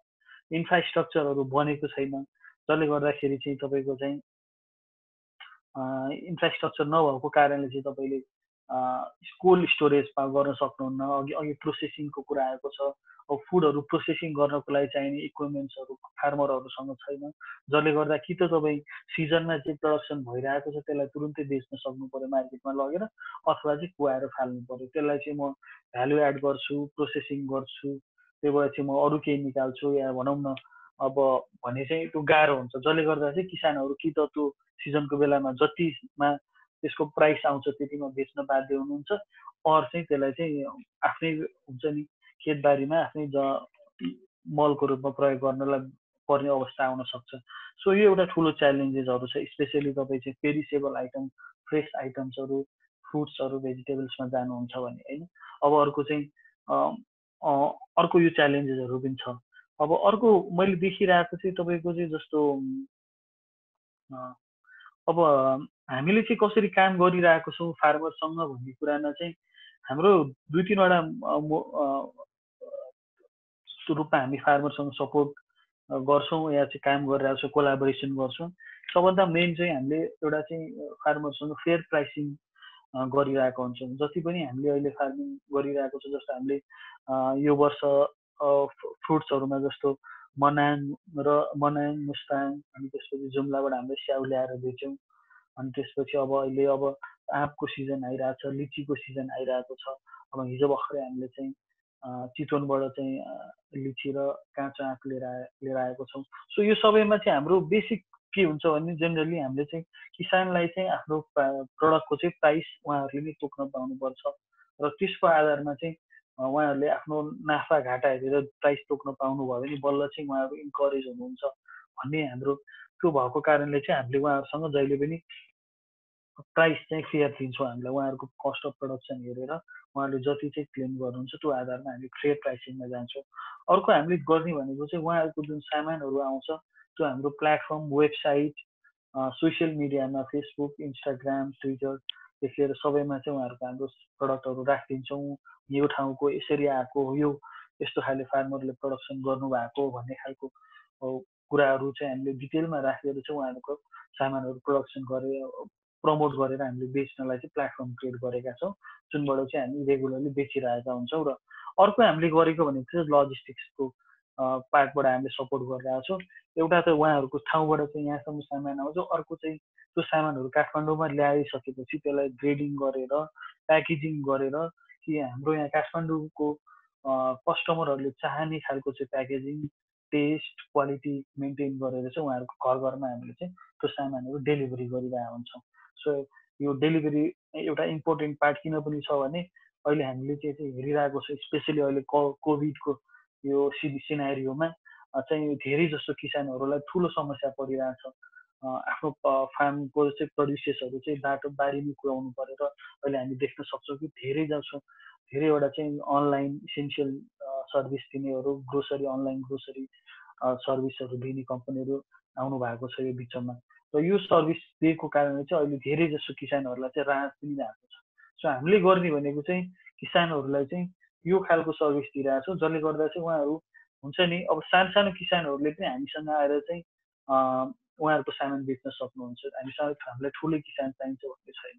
सो हामीले यो तिन तरिकाले चाहिँ एउटा फेयर प्राइसिङ एउटा मार्केटिङ र प्रमोसन गरेर र अर्को चाहिँ लजिस्टिक सोल्युसन्सहरू दिएर चाहिँ हामीले किसानहरूलाई चाहिँ यो हुन्छ नि यो भ्यालु चेन एडमा चाहिँ सपोर्ट गरिरहेको छ उहाँहरूलाई।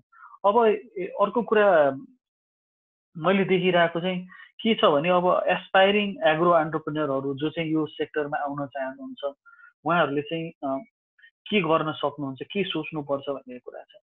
अहिलेसम्म मैले देखिरहेको ठुलो समस्या चाहिँ के छ भने अहिले बिस्तारै लास्ट केही इयर्समा त चेन्ज आएको छ यो थट प्रोसेसमा होइन। तर बेसिकली के देखिन्छ भने किसान खेतीपाती गर्ने मान्छे किसान खेती फार्मिङ गर्न आउने मान्छे अनि एग्रो बिजनेस गर्ने मान्छेहरूलाई चाहिँ अलिकति हुन्छ नि। अरू केही काम नपाएर गरिरहेछ अरू केही अप्सनै नभएर गरिरहेछ भन्ने खालको एउटा चाहिँ त्यो साइकोलोजी मेन्टालिटीबाट सोसाइटीले हेर्ने चलन बढी देखिन्छ। तर अब हामीले के बुझ्नुपर्छ भने जस्तो तपाईँको चाहिँ नेसनल इकोनोमिक सेन्सस दुई हजार अठारको चाहिँ सेन्ससले के बताउँछ भने त्यो रिसर्चले चाहिँ तपाईँको चाहिँ नेपालमा सबभन्दा प्रफिटेबल भनेको चाहिँ कम्पनीजहरू रिसर्च गर्दाखेरि चाहिँ सबभन्दा बढी एग्रो फर्म्सहरू नै छ तपाईँको एजुकेसन सेक्टरमा लाग्ने फर्म्सहरू तपाईँको करिब करिब उनीहरूले चाहिँ एनुअल प्रफिट उनीहरूको प्रफिट मार्जिन भनेको एनुअल प्रफिट भनेको फोर्टी सिक्स पर्सेन्ट छ। अब होलसेल रिटेल गर्नेहरूको फोर्टी थ्री छ भने तपाईँको एग्रिकल्चरमा लाग्नेहरूको fifty five point seven percent छ।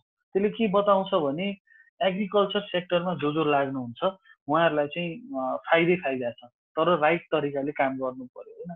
त्यतिकै चाहिँ अब मिडियामा आएको भरमा मिडियामा चाहिँ एउटाले टनेलबाट रोपेर चाहिँ मासिक दुई लाख आम्दानी गर्यो। अर्कोले यो गरेर चाहिँ बाख्रा बेच्यो बाख्रा पालन गरेर यो बेच्यो बेचेर चाहिँ यति आम्दानी गऱ्यो भने त्यो मिडियामा आएको न्युजको आधारमा मात्र चाहिँ जम्पिङ गरिहाल्ने भन्दा पनि युवाहरूले चाहिँ के सोच्नु पर्यो भने यो सेक्टरमा लागिसकेपछि चाहिँ अलिकति चाहिँ लङ टर्म भिजन लिएर आउनु पर्यो। आजको भोलि अहिले म देख्छु धेरै ठाउँमा चाहिँ अब हुन्छ नि मिडियामा आइहाल्ने अनि त्यसपछि आइसकेपछि चाहिँ कुनै त्यही नै चाहिँ सक्सेस स्टोरीको रूपमा आफूलाई देख्ने होइन त्यसपछि मिहिनेत गर्न नखोज्ने विभिन्न प्रोग्रामहरूमा डुलिराख्ने त्यो खालको मैले चाहिँ यङ एन्टरप्रेनरहरूमा देखिरहेको छु। जुन एक हिसाबले नेटवर्किङको हिसाबले त राम्रो होला तर बिजनेस भनेको चाहिँ सहिले पनि अलिकति लङ टर्म भिजन लिएर चाहिँ के गर्ने भन्ने कुराले मात्र चल्न सक्यो भने राम्रो हुन्छ। सो एउटा पार्ट त्यो छ भने अर्को पार्ट मैले देखेको चाहिँ युवाहरू आउन चाहनुहुन्छ भने एउटा चाहिँ उहाँहरूको प्यासन र स्किल्स चाहिँ केमा छ त? त्यो कुरा पनि उहाँहरूले हेर्नुपर्ने हुन्छ। अब प्यासन एउटा कुरा छ अनि त्यसपछि चाहिँ म एग्रिकल्चर गर्छु भन्दै आउने कुरा पनि भएन। अब स्किल सेट्सहरू पनि हेर्नुपर्छ जस्तो हामीले सुरुमा मैले आफैले पनि हामीले फार्म स्टार्ट गर्दाखेरि पनि एउटा प्यासन भएको कारणले मात्र गऱ्यौँ कि त्यो फार्मिङ कन्टिन्युटी किन गर्न सकेन भने त्यो त्यो कहाँ त्यो चिज गर्नको लागि मसँग स्किल्स नै थिएन। जुन स्किल्स थियो त्यो भनेको चाहिँ मसँग अर्बन एरियामा बसेर कस्टमरहरूसँग इन्टरेक्ट गर्ने मार्केटिङ गर्ने जुन स्किल थियो त्यो मैले चाहिँ गएर फार्ममा युज गर्न सक्ने थिएँ सो त्यो भएको कारणले चाहिँ के भयो भने बिस्तारै चाहिँ फार्म त खोलियो तर त्यो हुन्छ नि त्यो चाहिँ ठ्याक्कै म्याच हुन नसकेको कारणले बिस्तारै चाहिँ त्यसमा इन्ट्रेस्ट कम हुँदै गयो त्यही भएर अलवेज मान्छेले चाहिँ युवाहरूले चाहिँ यदि नयाँ बिजनेसहरू गर्दै हुनुहुन्छ स्पेसली एग्रिकल्चरमा आउँदै हुनुहुन्छ जुन चाहिँ अलरेडी चाहिँ गाह्रो छ विभिन्न तरिकाले त्यही भएको उहाँहरूले चाहिँ जहिले पनि स्किल्स र प्यासनहरूलाई चाहिँ म्याच हुने खालको चाहिँ सेक्टर छान्नुपर्छ उहाँहरूले होइन? अब त्यो देख्छु मैले अब अर्को भनेको चाहिँ के देखिन्छ भने अब अहिले अघि पनि हाम्रो अरविन्दजीले पनि धेरै यो बारेमा बोल्नुभयो कि अहिले चाहिँ हामीले के बुझ्नुपर्छ भने एग्रिकल्चर भनेको चाहिँ फार्मिङ र प्रडक्सन साइड मात्र होइन। आजको डेटमा एग्रिकल्चर भनेको तपाईँको चाहिँ फुड प्रोसेसिङको कुरा छ। अब अहिले तपाईँको साँच्ची के भन्नुपर्दाखेरि तपाईँको यो समयमा त खालि तपाईँहरूले चाहिँ कोही मान्छेले आएर चाहिँ यो फार्मबाट चाहिँ काठमाडौँसम्म मात्र तरकारी या चाहिँ विभिन्न डेली प्रड्युसेसहरूलाई ल्याइदिने मात्र बिजनेस गरे भए पनि उसले चाहिँ राम्रो राम्रो रेभिन्यू जेनेरेट गर्न सक्थ्यो र राम्रो बिजनेस मोडल हुन सक्थ्यो त्यो। सो लजिस्टिक्सको च्यालेन्जेसहरू आफ्नै ठाउँमा चाहिँ तपाईँ आजको डेटमा जुम्लाबाट सामान ल्याउनु पऱ्यो भने तपाईँले चाहिँ एक गाडी ल्याउनलाई एउटा फार्मरसँग त्यति सामान हुँदैन धेरै गाडी ल्याउन खोज्न थाल्नुभयो एउटै गाडी सिङ्गै ल्याउन खोज्नुभयो भने चाहिँ गाह्रो हुन्छ। त्यसैले चाहिँ त्यहाँबाट चाहिँ अब त्यस्तो खालको ट्रान्सपोर्ट सर्भिसेस दिने इन्डस्ट्री पनि हुन सक्ला बिजनेस पनि हुन सक्ला. सो अघि एडभाइजरी सर्भिसको कुरा छ अब आजको डेटमा तपाईँ साँच्ची के भन्नुहुन्छ भने डेटा नै छैन हाम्रो नेपालको चाहिँ एग्रिकल्चर सेक्टरको लास्ट इयरमा यो समयमा चाहिँ यो सामान कतिमा बिक्री भएको थियो यो वर्ष कति पर्ला होइन कतिसम्म चाहिँ मैले यसमा रोप्दाखेरि चाहिँ फाइदा होला नेपालको मार्केट साइज के हो डिमान्ड के हो त्यस्तो खालको केही पनि इन्फर्मेसन तैँले आज तपाईँले आजको डेटमा पाउनुहुन्न। छ त्यस्तो खालको डेटा एनालिटिक्स क्रिएट गर्न सक्नुभयो भने पनि त्यो पनि एउटा चाहिँ ठुलो अपर्च्युनिटी हुनसक्छ अब एग्रिकल्चर सेक्टरमा आउनु चाहनुहुनुको लागि। अर्को चाहिँ अहिले धेरै देखिन्छ तपाईँको चाहिँ एग्रिकल्चर सेक्टरमा चाहिँ अघि एनर्जी सेक्टर पनि एउटा इम्पोर्टेन्ट टुल छ किनभने नेपालको चाहिँ अब एकदमै रुरल एरियाजहरूमा चाहिँ फार्महरू बढी भएको कारणले चाहिँ त्यहाँनिर चाहिँ तपाईँहरू इरिगेसनदेखि लिएर मिलिङ मिलको कुरा आउनसक्छ अनि त्यसपछि सोलर ड्रायरको कुराहरू आउन सक्छ। सो विभिन्न खालको त्यस्तो खालको चाहिँ टेक्नोलोजिजहरू आवश्यकता पर्छ। त्यो टेक्नोलोजिजहरू डिजाइन गर्ने जुन चाहिँ लोकली एप्रोप्रिएट हुनसक्छ र त्यस्तो चाहिँ अब लो कस्ट पनि हुनु पऱ्यो। हाम्रो किसानहरूको लागि अफोर्डेबल हुनु पऱ्यो। त्यस्तो खालको चाहिँ टेक्नोलोजिजहरू डिजाइन गर्ने कम्पनीहरू पनि हुनसक्छ एग्रिकल्चर बेस्ड एग्रिकल्चर फोकस्ड होइन? अब अर्को चाहिँ हामी जस्तो अब हामीले जस्तो विभिन्न प्लेटफर्म्सहरू अहिले आइरहेको छ। काठमाडौँ अर्ग्यानिक पनि एउटा प्लेटफर्म भयो। त्यस्तै चाहिँ विभिन्न खालको प्लेटफर्म हुनसक्छ जुन क्रिएट गरेर जसले गर्दाखेरि चाहिँ किसानहरू चाहिँ सजिलै चाहिँ आफ्नो प्रड्युसेसहरूको लागि प्रडक्सनहरूको लागि चाहिँ मार्केटमा ल्याएर बेच्न सकिन्छ सो त्यस्तो त्यही भएर चाहिँ हामीले के सोच्नुपर्छ भने एग्रिकल्चर सेक्टर आफैमा एकदम भास्ट छ। त्यसलाई जहिले पनि गएर चाहिँ फार्ममा गएर कुटो कोदालो गरेर प्रडक्सन गरेर मात्रै चाहिँ म फार्मर हुन्छु या म एग्रिकल्चर सेक्टरमा चाहिँ काम गर्छु भन्ने कुरा छैन। यसलाई चाहिँ एकदम डाइभर्स हेर्नु पऱ्यो यसको पनि विभिन्न स्ट्राटाहरू छ विभिन्न सेक्टरहरू छ त्यसलाई चाहिँ म्याच गर्ने गरी गरी चाहिँ मान्छेहरूले काम गर्नु भने धेरै ठुलो फाइदा हुन्छ जस्तो लाग्छ मलाई। सो एउटा चाहिँ यो पार्टहरू भयो होइन? अब अर्को कुरा चाहिँ अब हामीले एज अ कम्पनी चाहिँ के च्यालेन्जेसहरू फेस गरिरहेछौँ त आजको दिनमा? भन्दाखेरि च्यालेन्जेसहरू चाहिँ एकदमै कस्तो छ भने च्यालेन्जेसहरू जहिले पनि नयाँ नयाँ नै भइरहेको हुन्छ। अब जस्तो तपाईँको चाहिँ इक्जाम्पलको लागि अब हामीसँग अब कोल्ड स्टोरेजेसहरू छैन adequate cold storage cold storage जुन छ तिनीहरू पनि एउटा चाहिँ सर्टेन खालको प्रडक्ट्सहरूको लागि मात्र सुइटेबल हुने खालको कोल्ड स्टोरेजहरू डिजाइन गरिएको छ। जसले गर्दा तपाईँको चाहिँ धेरै जसो पेरिसेबल आइटमहरू त्यहाँ लगेर राख्न सक्दैन। र हामीले आफै बनाउन चाह्यो भने पनि सानो सानो बिजनेसहरूको लागि त्यो टेक्नोलोजी अफोर्डेबल छैन। अब त्यस्तो खालको छ। अर्को चाहिँ ठुलो च्यालेन्जेस भनेको चाहिँ फार्मबाट चाहिँ सामानहरू काठमाडौँसम्म ल्याइन ल्याउनको लागि ठुलो प्रब्लम छ। यदि जुम्लाबाट तपाईँले चाहिँ सामान ल्याउन चाहनुभयो भने तपाईँको चाहिँ एउटा त तपाईँको कस्ट एकदमै महँगो छ। त्योभन्दा सस्तोमा तपाईँ दिल्लीबाट सामान आइपुग्छ काठमाडौँमा होइन? अर्को चाहिँ तपाईँको चाहिँ के छ भने त्यस्तै परेर बाटोमा कतै पहिरो सहिरो गइदियो भने त त्यो सामान एक हप्ता पन्ध्र दिनसम्म पनि आउँदैन। हामीले धेरैचोटि चाहिँ यस्तो प्रब्लमहरू फेस गरिरहेको छ। सामान ल्याएर चाहिँ त्यो सामान कहिले आउँछ थाहा हुँदैन। लास्ट इयर हामीले एकचोटि स्याउ ल्याउन खोजेका थियौँ स्याउ ल्याउँदाखेरि तपाईँको चाहिँ पहिरो गएको कारणले चाहिँ बाटो दस दिनसम्म ब्लक भएको थियो। त्यसले गर्दाखेरि त्यो स्याउको चाहिँ जुन क्वालिटी हुनुपर्ने थियो काठमाडौँसम्म आइपुग्दा त्यो एकदमै बिग्रेर गएको थियो। सो एउटा यो ठुलो च्यालेन्जेस छ आजको दिनमा चाहिँ यहाँका चाहिँ एग्रिकल्चर सेक्टरमा काम गर्नको लागि होइन? अब अनि त्यसपछि अब फार्मसम्म लैजानको लागि चाहिने चाहिँ जुन अब तपाईँको चाहिँ फ्रेस फुडहरू जस्तो अब हाइटेक अब चाहिँ हाम्रो लोकल फुड्सहरू लैजानको लागि जुन खालको चाहिँ अब सपोर्ट सिस्टम चाहिन्छ गभर्मेन्टबाट त्यो पनि छैन खासै। अब तपाईँको प्राइभेट सेक्टरहरूले आफै गर्नुपर्ने देखिन्छ यो सबै सेक्टरमा सो यो विभिन्न च्यालेन्जेसहरूबाट चाहिँ हामी अब त्यो छैन गभर्मेन्टले यो गर्दैन अब जुन जुम्लाबाट गाडी कहिले आउँछ कहिले आउँछ भनेर अब त्यो च्यालेन्जेसहरू छ भन्नेमा चाहिँ पछाडि परेर बस्ने कुरा त आउँदैन जहिले पनि लड्दै नै अगाडि जानु पऱ्यो तर च्यालेन्जेसहरू हुँदा हुँदै पनि अपर्च्युनिटी पनि म एकदम ठुलो देख्छु अघि पनि मैले भने कि तपाईँको चाहिँ नेपालमा चाहिँ एग्रिकल्चर सेक्टरमा एग्रिकल्चर सेक्टरमा पनि specially agro agriculture based trading गर्ने कम्पनीहरू चाहिँ मोस्ट प्रफिटेबल कम्पनी हो। त्यही भएर सबैजनाले बुझ्नु जरुरी के छ भने एग्रिकल्चर सेक्टर इज मा आउनुभयो भने तपाईँको भविष्य राम्रो छ। तर राम्रो हुनुको मतलब यो होइन कि आएर जम्प गरिहाल्ने जे गरे पनि हुन्छ भने आफ्नो प्लान बनाउनुहोस् राम्रो तरिकाले सोच्नुहोस् होइन? त्यो अनुसारले चाहिँ गर्न सक्छ। युवाहरूको लागि त अब हामीले देख्न सक्छौँ कि अब अहिलेसम्म अघि अरविन्दजीले पनि भन्नुभयो कि जति पनि फार्मिङ गरिरहनु भएको छ सबैजनाले चाहिँ त्यो ट्रेडिसनल माइन्ड सेट लिएर काम गरिरहनु भएको छ।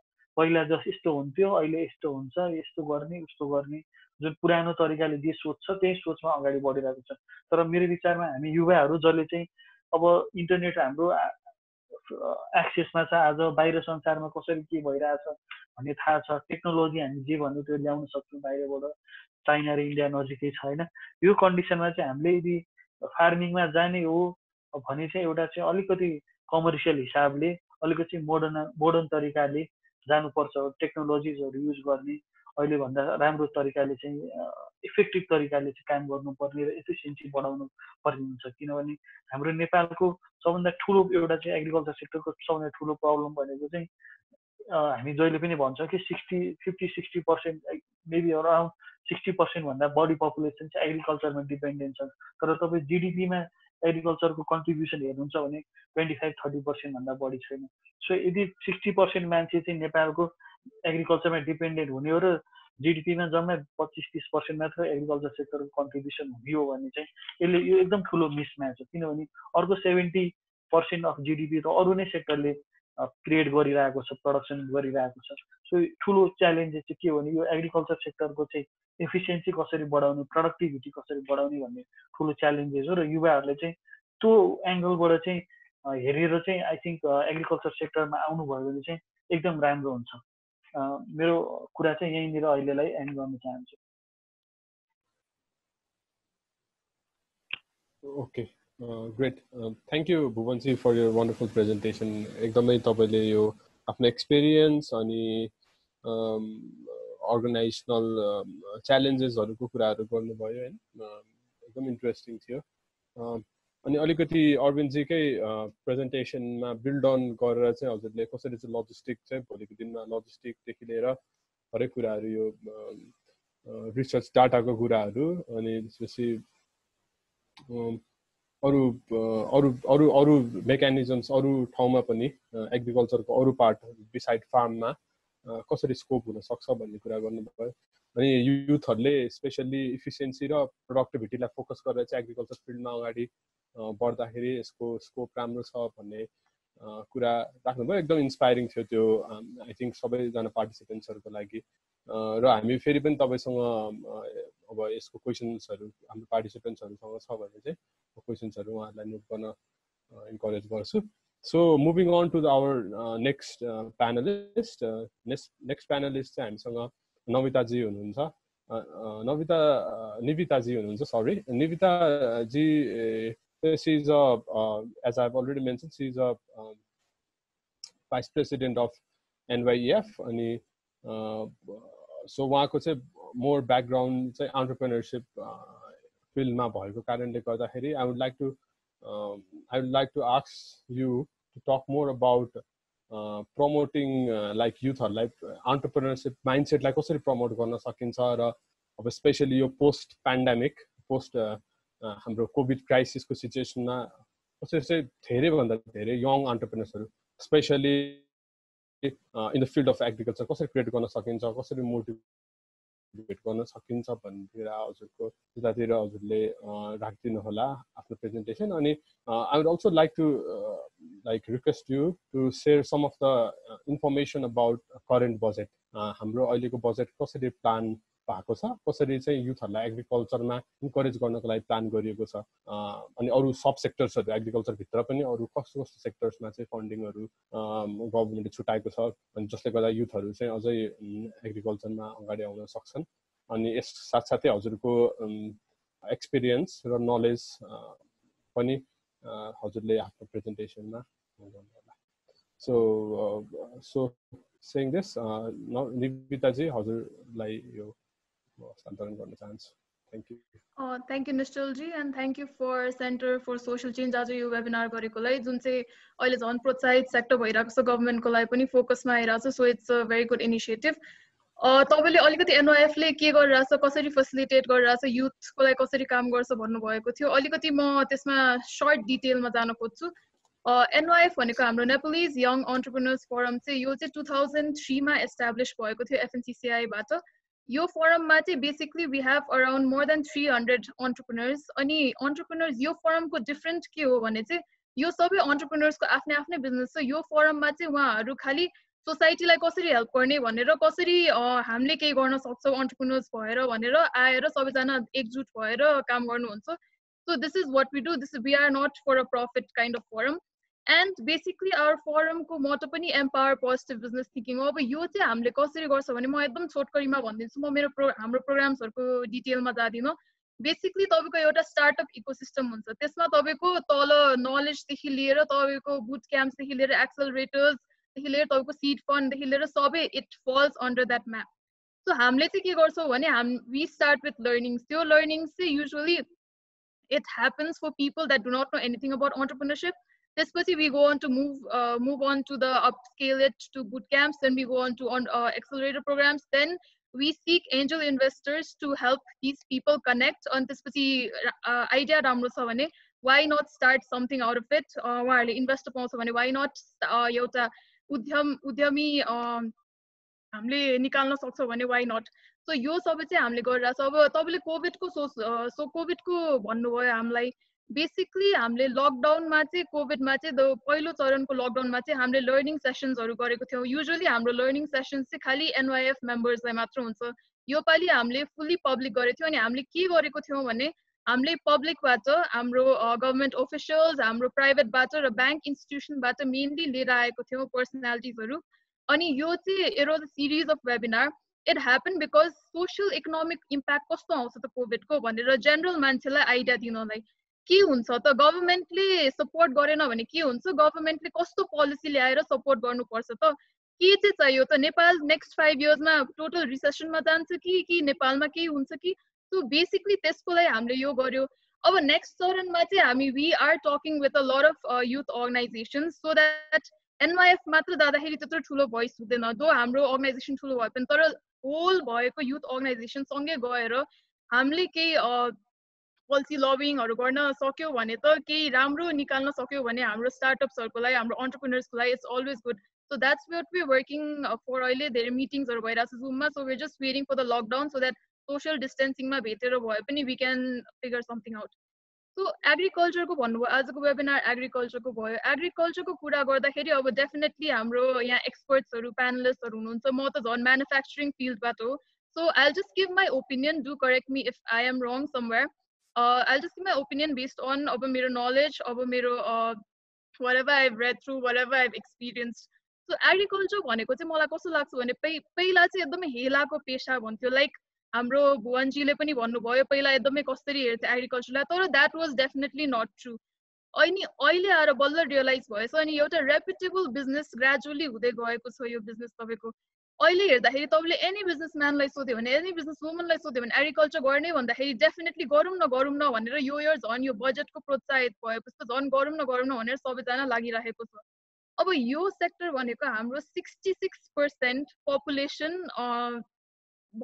ले एङ्गेज गर्छ यो सेक्टरमा अनि हाम्रो दुई सय अर्ब इम्पोर्ट हुन्छ यो सेक्टरमा estimated currently so this is definitely an opportunity for youth भन्छु म त गभर्मेन्टको फोकस हेभी हुनु कारण पनि वान अफ द रिजन्स यही नै हो पहिला हाम्रो एग्रिकल्चर प्रडक्ट्सहरू अरू कन्ट्रिजमा एक्सपोर्ट हुन्थ्यो तर अहिले आएर हामीले अब यस्तो चिजहरू हाम्रो डेली लाइफमा चाहिने प्याज लसुन पनि चाइनाबाट आउँछ हाम्रो इन्डियाबाट आउँछ विच इज नट डन जब हामी यस्तो एग्रिकल्चर कन्ट्री भन्छ भने हामीले आफै उत्पादन गरेर आफ्नो एटलिस्ट लोकल पपुलेसनलाई त दिन सक्नुपर्ने हुन्छ अब टेन इयर्स ब्याक यो जसरी अहिले प्रोत्साहित एग्रिकल्चर गरेर लग्नु भएको छ गभर्मेन्टले त्यसरी लगेको भए यस्तो सिचुएसनमा अहिले हामी आउँदैन थियो यस्तो ब्याकवर्ड हुँदैन थियो हामी यस्तो सिचुएसनमा किन टेन इयर्स ब्याक यो पोलिसिज नआएर बिग्रेको हो।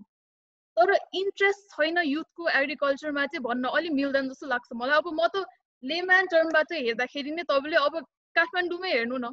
यति धेरै रुफटप गार्डनिङहरू भएर भनिरहेको छ। यहाँ त धेरै स्पेस हुन्न मान्छेहरूको सो त्यस्तो गरिरहेको छ। त्यसले अलिकति भए पनि इन्ट्रेस्ट त छ नि एग्रिकल्चरमा भनेर देखाइ त रहेको छ नि। इन्ट्रेस्ट नभए त किन उसले अखबारे रोपिरहेको हुन्छ कि त जिरे खोर्सानी रोपिरहेको हुन्छ होइन? सो इन्ट्रेस्ट चाहिँ डेफिनेटली छ। बट गभर्मेन्टको अन्टरप्रिनरसिप पोलिसिज जसरी पहिला अहिले आएको छ पहिला आएको भए झन् बेस्ट हुन्थ्यो। द थिङ इज मैले अहिले के देखेको छु भने जुन चाहिँ यो अरविन्दजीले भन्नुभएको छ अरविन्दजीले पनि भन्नुभएको थियो यो सिडको बारेमा। सिड प्रब्लम चाहिँ एकदमै मैले देखेको छु। एकदमै धेरै न्युज पनि आएको थियो। पहिला कि तपाईँले मेज धानको यो सिडहरू राख्दाखेरि कति उत्पा कति ठाउँमा उत्पादन भएन तपाईँको बेकारमा टाइम एनर्जी एफर्ट सबै लस्ट भयो। So seed problem is the main problem मलाई पनि लाग्छ। अब हाम्रो गभर्मेन्टले सिक्नु पर्यो अरू कन्ट्रिजबाट। जस्तो भुटानलाई हेर्नु। भुटानले के गर्छ? भुटानको गभर्मेन्टले पटेटो फार्मिङ। पटेटो फार्मिङमा के हुन्छ भने तपाईँको उनीहरूले कुन चाहिँ मल युज गर्ने कुन चाहिँ सिड युज गर्ने भनिदिन्छ अब हाम्रो गभर्मेन्टले पनि काम गर्नु पर्यो त्यसरी। सो मलाई लाग्छ कि यस्तो सेन्टर्सहरू जुन चाहिँ यस्तो इनिसिएटिभ्स यो एग्रिकल्चर इनिसिएटिभ्समा वर्क गर्नुहुन्छ उहाँहरूले गभर्मेन्टसँग मिलेर एउटा रिसर्च सेन्टरमा सेन्टरको हिसाबले मिलेर काम गर्नुभयो भने यो इन्फर्मेसन चाहिँ रेडिली अभाइलेबल हुन सकिन्छ अनि राम्रोसित पनि गो हेड अन गर्न सकिन्छ जस्तो लाग्छ मलाई चाहिँ।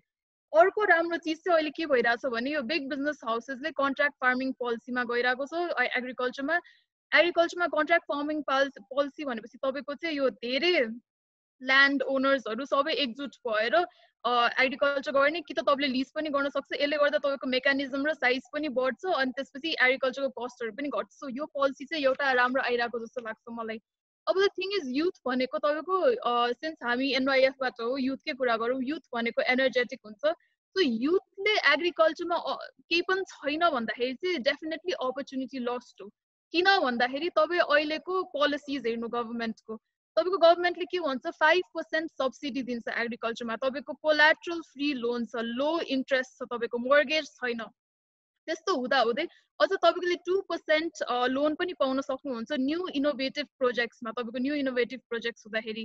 सो त्यस्तो हुँदा हुँदै I think it is an opportunity lost if you think केही पनि छैन भनेर। प्लस अहिले त गभर्मेन्टले ब्याङ्क्सहरूलाई पनि कम्पलसरी गर्नुभएको छ कि ल्यान्डिङ गर्नुपर्छ। आई फगट कति इयर्सको लागि हो तर त्यो कम्पल्सन पनि एउटा आएको छ।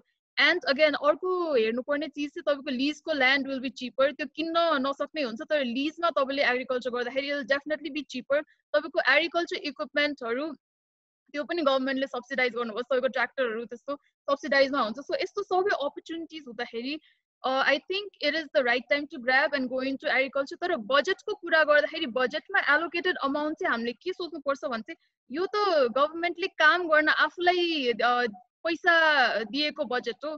तर हामीले योबाट के हेर्नुपर्छ भने फेसिलिटी के फेसिलिटी दिएको छ त? फर इक्जाम्पल तपाईँको ब्याङ्कको ब्याङ्कको लेन्डिङको तपाईँको अब भनौँ न थर्टी बिलियन डलर्स छ अरे। थर्टी बिलियन डलर्समा टेन पर्सेन्ट पनि ल्यान्डिङ भयो भने थ्री बिलियन डलर्स हुन्छ त्यो।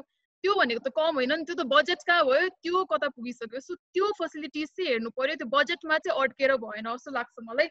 अब लास्ट बजेटले तपाईँको सिट सपोर्टको कुराहरू गरेको थियो तर हामीले त्यस्तो धेरै देखे देखेनौँ जस्तो मैले भनेको थिएँ सिटको प्रब्लम छ नेपालमा।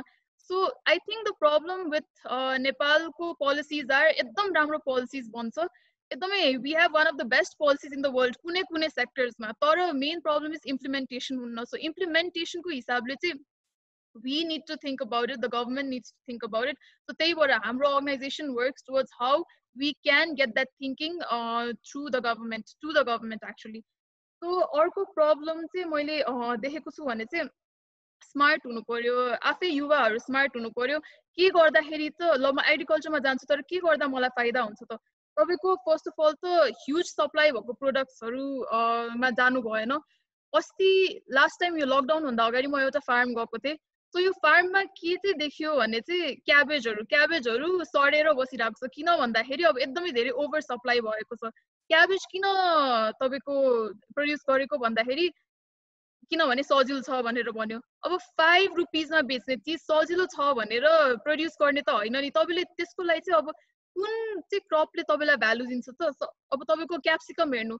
ग्रिन क्याप्सिकम र तपाईँको कलर्ड क्याप्सिकममा हेर्दाखेरि कलर्ड क्याप्सिकमको प्राइस तपाईँको three four times higher than green capsicum छ। भनेपछि सेम मेहनत लाग्छ भने सेम टाइम लाग्छ भने अलिकति एक्सपेन्स बढी लाग्छ भने कि त अलिकति धेरै मेहनत लाग्छ भने why not go toward something that's going to give you more profit than staying and doing the traditional way त्यही भएर तपाईँले हेर्नु पर्यो। गभर्मेन्टले तोकेको थिङ्सहरू भन्दाखेरि पनि ओके अल प्रडक्ट्समा जाऊँ न। त्यो प्रडक्टबाट मलाई प्रफिट हुन्छ कि हुँदैन भनेर आई थिङ्क युथले चाहिँ त्यो एकदमै एनालाइज गर्नुपर्छ rather than just diving into it म के गर्छु भनेर। अफ सिजन प्रडक्ट्सहरूमा जानु पर्यो अब के गर्दा ठिक होला? जस्तो लास्ट टाइम म त्यो फार्ममा जाँदाखेरि त्यहाँ टनलिङहरू गर्नुभएको थियो एकदमै राम्रो थियो। एक्चुली हेर्दाखेरि यहाँ सक्सेसफुल तपाईँको टनल फार्मिङहरू गर्नुभएकोहरू सबै यो बाहिरबाट रिटर्न गरेर आउनु भएकोहरू यो इजरायलहरू गएर कहाँ कहाँ बाहिर गएर रिटर्न गरेर काम गरेर रिटर्न गर्नुभएकोहरूले एकदम सक्सेसफुल फार्मिङ गर्नुभएछ। सो आई थिङ्क सक्सेस स्टोरिजबाट थाहा हुन्छ कि farming agriculture is not a bad sector to go in to अनि यो जे ट्रेडिसनल थिङ्किङ छ it has to move away which has been happening अब अर्को चाहिँ म भन्न चाहन्छु यो होलसेल र रिटेल मार्केटको के भइरहेछ भने लाइक अस्ति हाम्रो स्पिकर्सहरूले पनि भन्नुभएछ यो होलसेल मार्केटमा चाहिँ तपाईँले मलाई लाग्छ युथहरूले एग्रिकल्चर एन्टर गर्दाखेरि चाहिँ कुन चाहिँ कुन चाहिँ ठाउँमा गर्ने चाहिँ सोच्नुपर्छ जस्तो तपाईँको एकदम टाढा छ भने तपाईँको ल्यान्ड एग्रिकल्चर ल्यान्ड एकदम टाढा छ भने तपाईँको त त्यो त होलसेल मार्केटमा जाने भयो नि। तपाईँको चालिस रुपियाँमा बिक्ने चिज दस रुपियाँमा बिक्ने भयो त्यस भए। सो त्यही भएर तपाईँले रिटेल मार्केटतिर खोज्नु पऱ्यो। त्यो भनेको तपाईँ नियर आउनु पऱ्यो। Retail market again when you talk about it अब कसरी गर्ने त? सपोज फर इक्जाम्पल मेरै नाम लिउँ निविता एग्रोमार्ट मैले एउटा निविता एग्रोमार्ट खोलेर अब के गर्न सक्छु मैले? मैले मेबी कम्युनिटिज मेरो यहाँ काठमाडौँमा भएको डिफ्रेन्ट डिफ्रेन्ट कम्युनिटिजमा गएर ओके म एउटा कार्ड लिएर आउँछु यति बजे लिएर आउँछु सो यो यो कार्डमा चाहिँ यति यति प्राइसेस हुन्छ यो आइटम्सको भनेर एउटा कम्युनिटीमा त्यो इन्फर्मेसन फ्लो आउट गरेर त्यहाँ लगेर बेच्यो भने त्यो त रिटेलिङ भयो नि तपाईँको एउटा trustworthy retailing kind of relationship पनि बिल्ड भयो एउटा अर्को चाहिँ तपाईँको फार्मर्सहरूले राम्रो भाउ पाउने भयो इन्स्टेड अफ उनीहरूले त्यो होलसेल प्राइसमा बेचेर घाटा खानुभन्दा जुन चाहिँ अरविन्दजीले भन्नुभएको थियो। सो अर्को म भन्न चाहन्छु चाहिँ फिमेल अन्टरप्रिनर्स यो योवाला हाम्रो प्रोफेसनमा चाहिँ फिमेल अन्टरप्रिनर्स छैन यो एग्रिकल्चरमा देखिन्न भनेर यो चाहिँ गलत सोचाइ हो एकदमै। किनभने एनवाइएफमा नि there there there many female entrepreneurs जो चाहिँ एग्रिकल्चर हुनुपर्छ। एउटा इक्जाम्पल चाहिँ हाम्रो लतिकाजी हुनुहुन्छ। उहाँको चाहिँ माटो भन्ने कम्पनी छ। सो उहाँले चाहिँ डिफ्रेन्ट डिफ्रेन्ट ठाउँमा यसरी यो लकडाउनको बेला कार्ड लगेर अनि त्यसपछि डिफ्रेन्ट आइटम्सहरू पब्लिकलाई अभाइलेबल गर्नुभएको थियो. So it's not just a sector of having males it's also a sector where there is coexistence I would say अब एग्रिकल्चर चाहिँ मलाई कस्तो लाग्छ भने चाहिँ एकदमै डाइभर्सिफाई गर्न मिल्ने सेक्टर हो। जस्तो तपाईँको एग्रिकल्चर गर्नुहुन्छ तपाईँले तपाईँको एकचोटि बेस स्ट्रङ भएपछि you can move on to diversified field for example तपाईँले ग्रेन प्रोसेसिङ गर्न सक्नुहुन्छ फ्रुट प्रोसेसिङ गर्न सक्नुहुन्छ होला त्यो पछि अलिकति माथि गएर मैदाको गर्न सक्नुहुन्छ पिठो गर्न सक्नुहुन्छ होला कि त त्योभन्दा अलिकति माथि गएर तपाईँले फुड प्रडक्ट्समा बिस्किट्स गर्न सक्नुहुन्छ होला।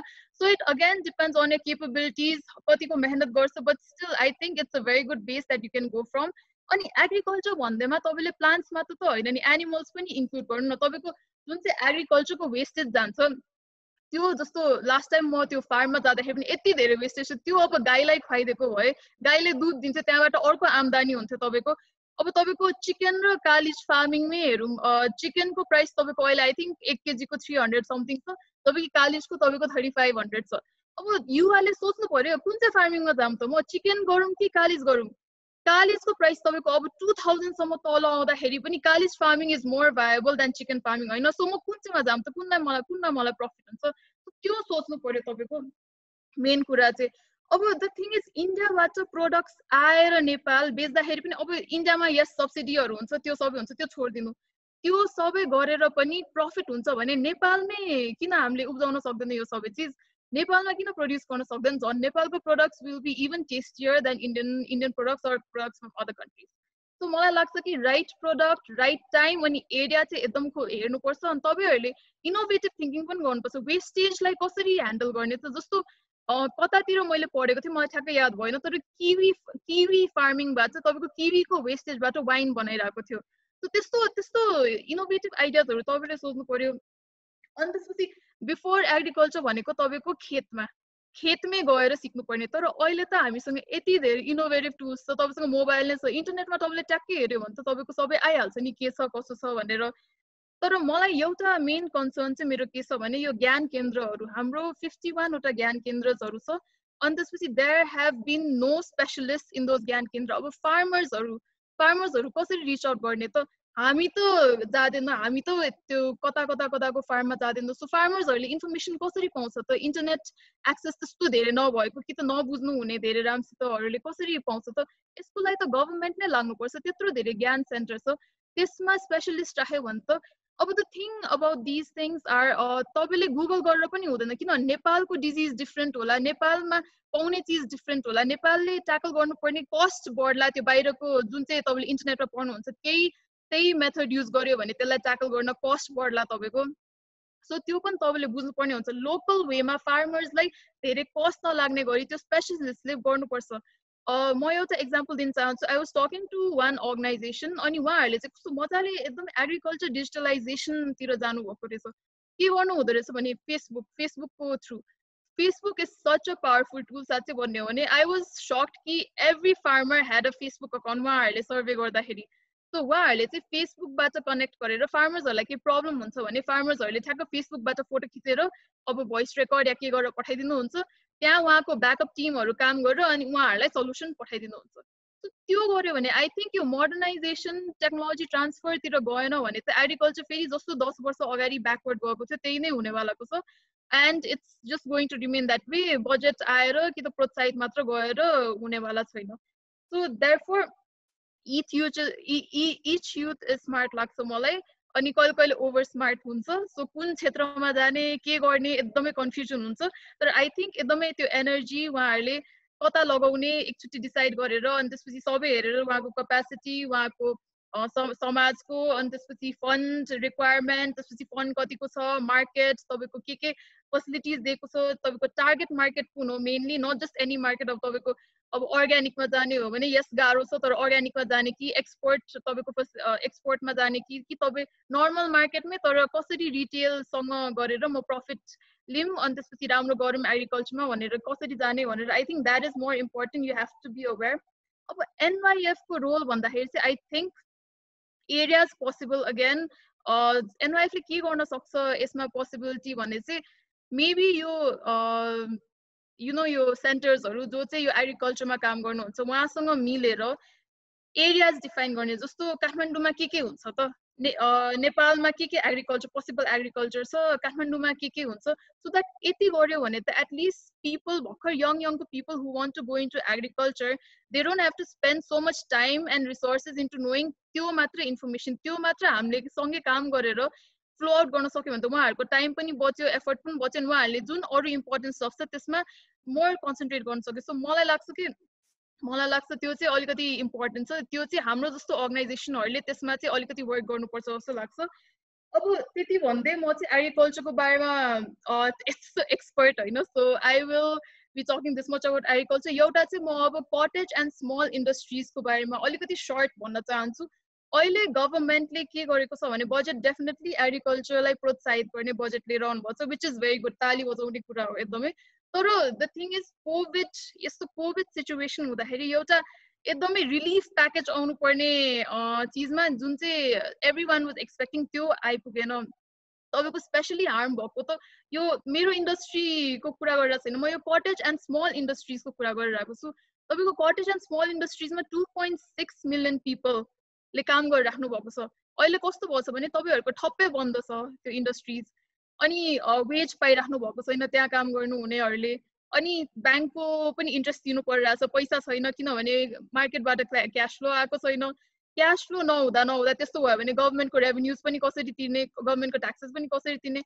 ए त्यही भएर मलाई के लाग्छ भने यो सेभेन्टी डेज लकडाउन पछि खोलेपछि पनि ठप्प मार्केट त पहिला the new normal it's going to take time so गभर्मेन्टले चाहिँ के गर्नुपर्ने भने six to one year at least time दिनुपर्छ बिजनेसेसलाई सर्भाइभ गर्न स्पेसली यो स्मल बिजनेसेसलाई किनभने स्मल बिजनेसेस भनेको तपाईँको एउटा बिजनेस हुन्छ कि त डाइभर्सिफाई गरे पनि सिमिलर सेक्टर्समा हुन्छ। एउटा मरेपछि कसरी कसरी रिभाइभ हुने? तपाईँको बिग बिजनेस हाउसेसको त डाइभर्सिफाइड बिजनेस हुन्छ तपाईँको। सो सो गभर्मेन्टले इकोनोमी वाइज सोच्नु पर्यो अब इन्स्टेड अफ यो पे गर यो पे गर भन्दाखेरि तपाईँको ट्याक्स रिपेमेन्ट तपाईँको यो इन्ट्रेस्टहरू डिफर वान इयर डिफर गर्दै तिर्नुपर्छ यस किनभने त्यसरी गभर्मेन्ट चल्छ तर वान इयर जति डिफर गरिदियो त अनि त्यसपछि तिर्दा त एटलिस्ट त्यो गभर्मेन्ट त्यो कम्पनीहरू सर्भाइभ गरिसकेको हुन्छ अनि तिर्ने पोजिसनमा हुन्छ। क्यास फ्लो भइसकेको हुन्छ उनीहरूको।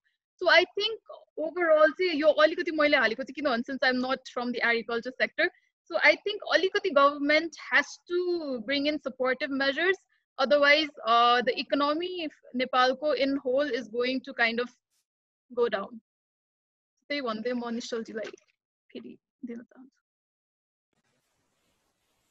okay great thank you Nivita ji हजुरको एकदमै इन्फर्मेटिभ र युथहरूको लागि चाहिँ एकदमै मोटिभेटिङ प्रेजेन्टेसन थियो. स्पेसली एग्रिकल्चर नै भोलिको अबको अबको अबको स्कोप हो अनि अब यङ पिपलहरू चाहिँ यही फिल्डमा अगाडि बढ्दाखेरि चाहिँ धेरै राम्रो हुनसक्छ। गभर्मेन्टले मात्र नभइकन प्राइभेट कम्पनीजहरूलाई पनि कसरी चाहिँ गभर्मेन्टले पुस गरिरहेको छ लोनहरूको कुराले यताउति यस्तो कुराहरू हजुरले गर्नुभएको थियो। अनि स्पेसल्ली हजुरको एउटा कि पोइन्ट इनोभेसन क्रिएटिभिटीमा चाहिँ हजुरले स्ट्रेस दिँदाखेरि आई थिङ्क अब एग्रिकल्चरमा त्यो इनोभेसन त्यो क्रिएटिभिटी नेसेसरी छ। अनि young people are the only one होइन त्यो जसले चाहिँ त्यो क्रिएटिभिटी र इनोभेसन निकाल्न सक्छ एग्रिकल्चरको फिल्डमा ओके ग्रेट थ्याङ्क यू सबै सबै प्यानलिस्टलाई धेरै धेरै धन्यवाद। अनि म चाहिँ अब यो हाम्रो टु आवर्स लङ वेबिनारलाई चाहिँ यो क्लोजिङतिर लग्दैछु। सो फेरि पनि सबैजना प्यानलिस्टहरूलाई चाहिँ हजुरहरूको एकदमै भ्यालुएबल इन्साइटको लागि चाहिँ I want to really thank from bottom of my heart अनि त्यसपछि हाम्रो सिएससी सेन्टर फर सोसल चेन्जको तर्फबाट तपाईँलाई धेरै धेरै धन्यवाद। अनि हाम्रो वन्डरफुल पार्टिसिपेन्ट्सहरू यति धेरै प्रश्नहरू राखिदिएर चाहिँ यो सेसनलाई अझै मोर इन्ट्रेस्टिङ बनाउनु भएकोमा पार्टिसिपेन्ट्सहरूको लागि पनि धेरै धेरै थ्याङ्क यू भन्न चाहन्छु। अनि हामीलाई फेसबुक लाइभमा लाइभ सुनिराख्नु भएको हाम्रो साथीहरूलाई पनि धेरै धेरै धन्यवाद भन्न चाहन्छु। प्रश्न राखिदिनु भएकोमा धेरै धेरै धन्यवाद भन्न चाहन्छु। सो हाम्रो यो यो यो सेसनको चाहिँ कम्प्लिट रेकर्डिङ हामीले गरेको छौँ यही जुमबाट र यो रेकर्डिङ चाहिँ हामी भोलिको दिनमा लाइक यो यसलाई हामी डेभलप गर्छौँ र हामी सेयर गर्न पनि हामी प्रयास गर्छौँ हाम्रो टेक्निकल टिम हामी यसलाई कसरी अगाडि बढाउन सकिन्छ भनेर हामीले will also be writing small report on this हामीले यहाँ डिस्कस गरेको कुराहरू चाहिँ हामीले समरी जस्तो गरेर हजुरहरूलाई फाइनल्ली बिफोर साइनिङ अफ हाम्रो टिमको हाम्रो टिम मेम्बर प्रकाश दाई पवन दाई कल्पना अनिस र म लगायत हामी सबैजना सिएससी फ्यामिलीको तर्फबाट धेरै hear it on Mevad Bande, you uh, webinar like, I want to end this webinar. Thank you.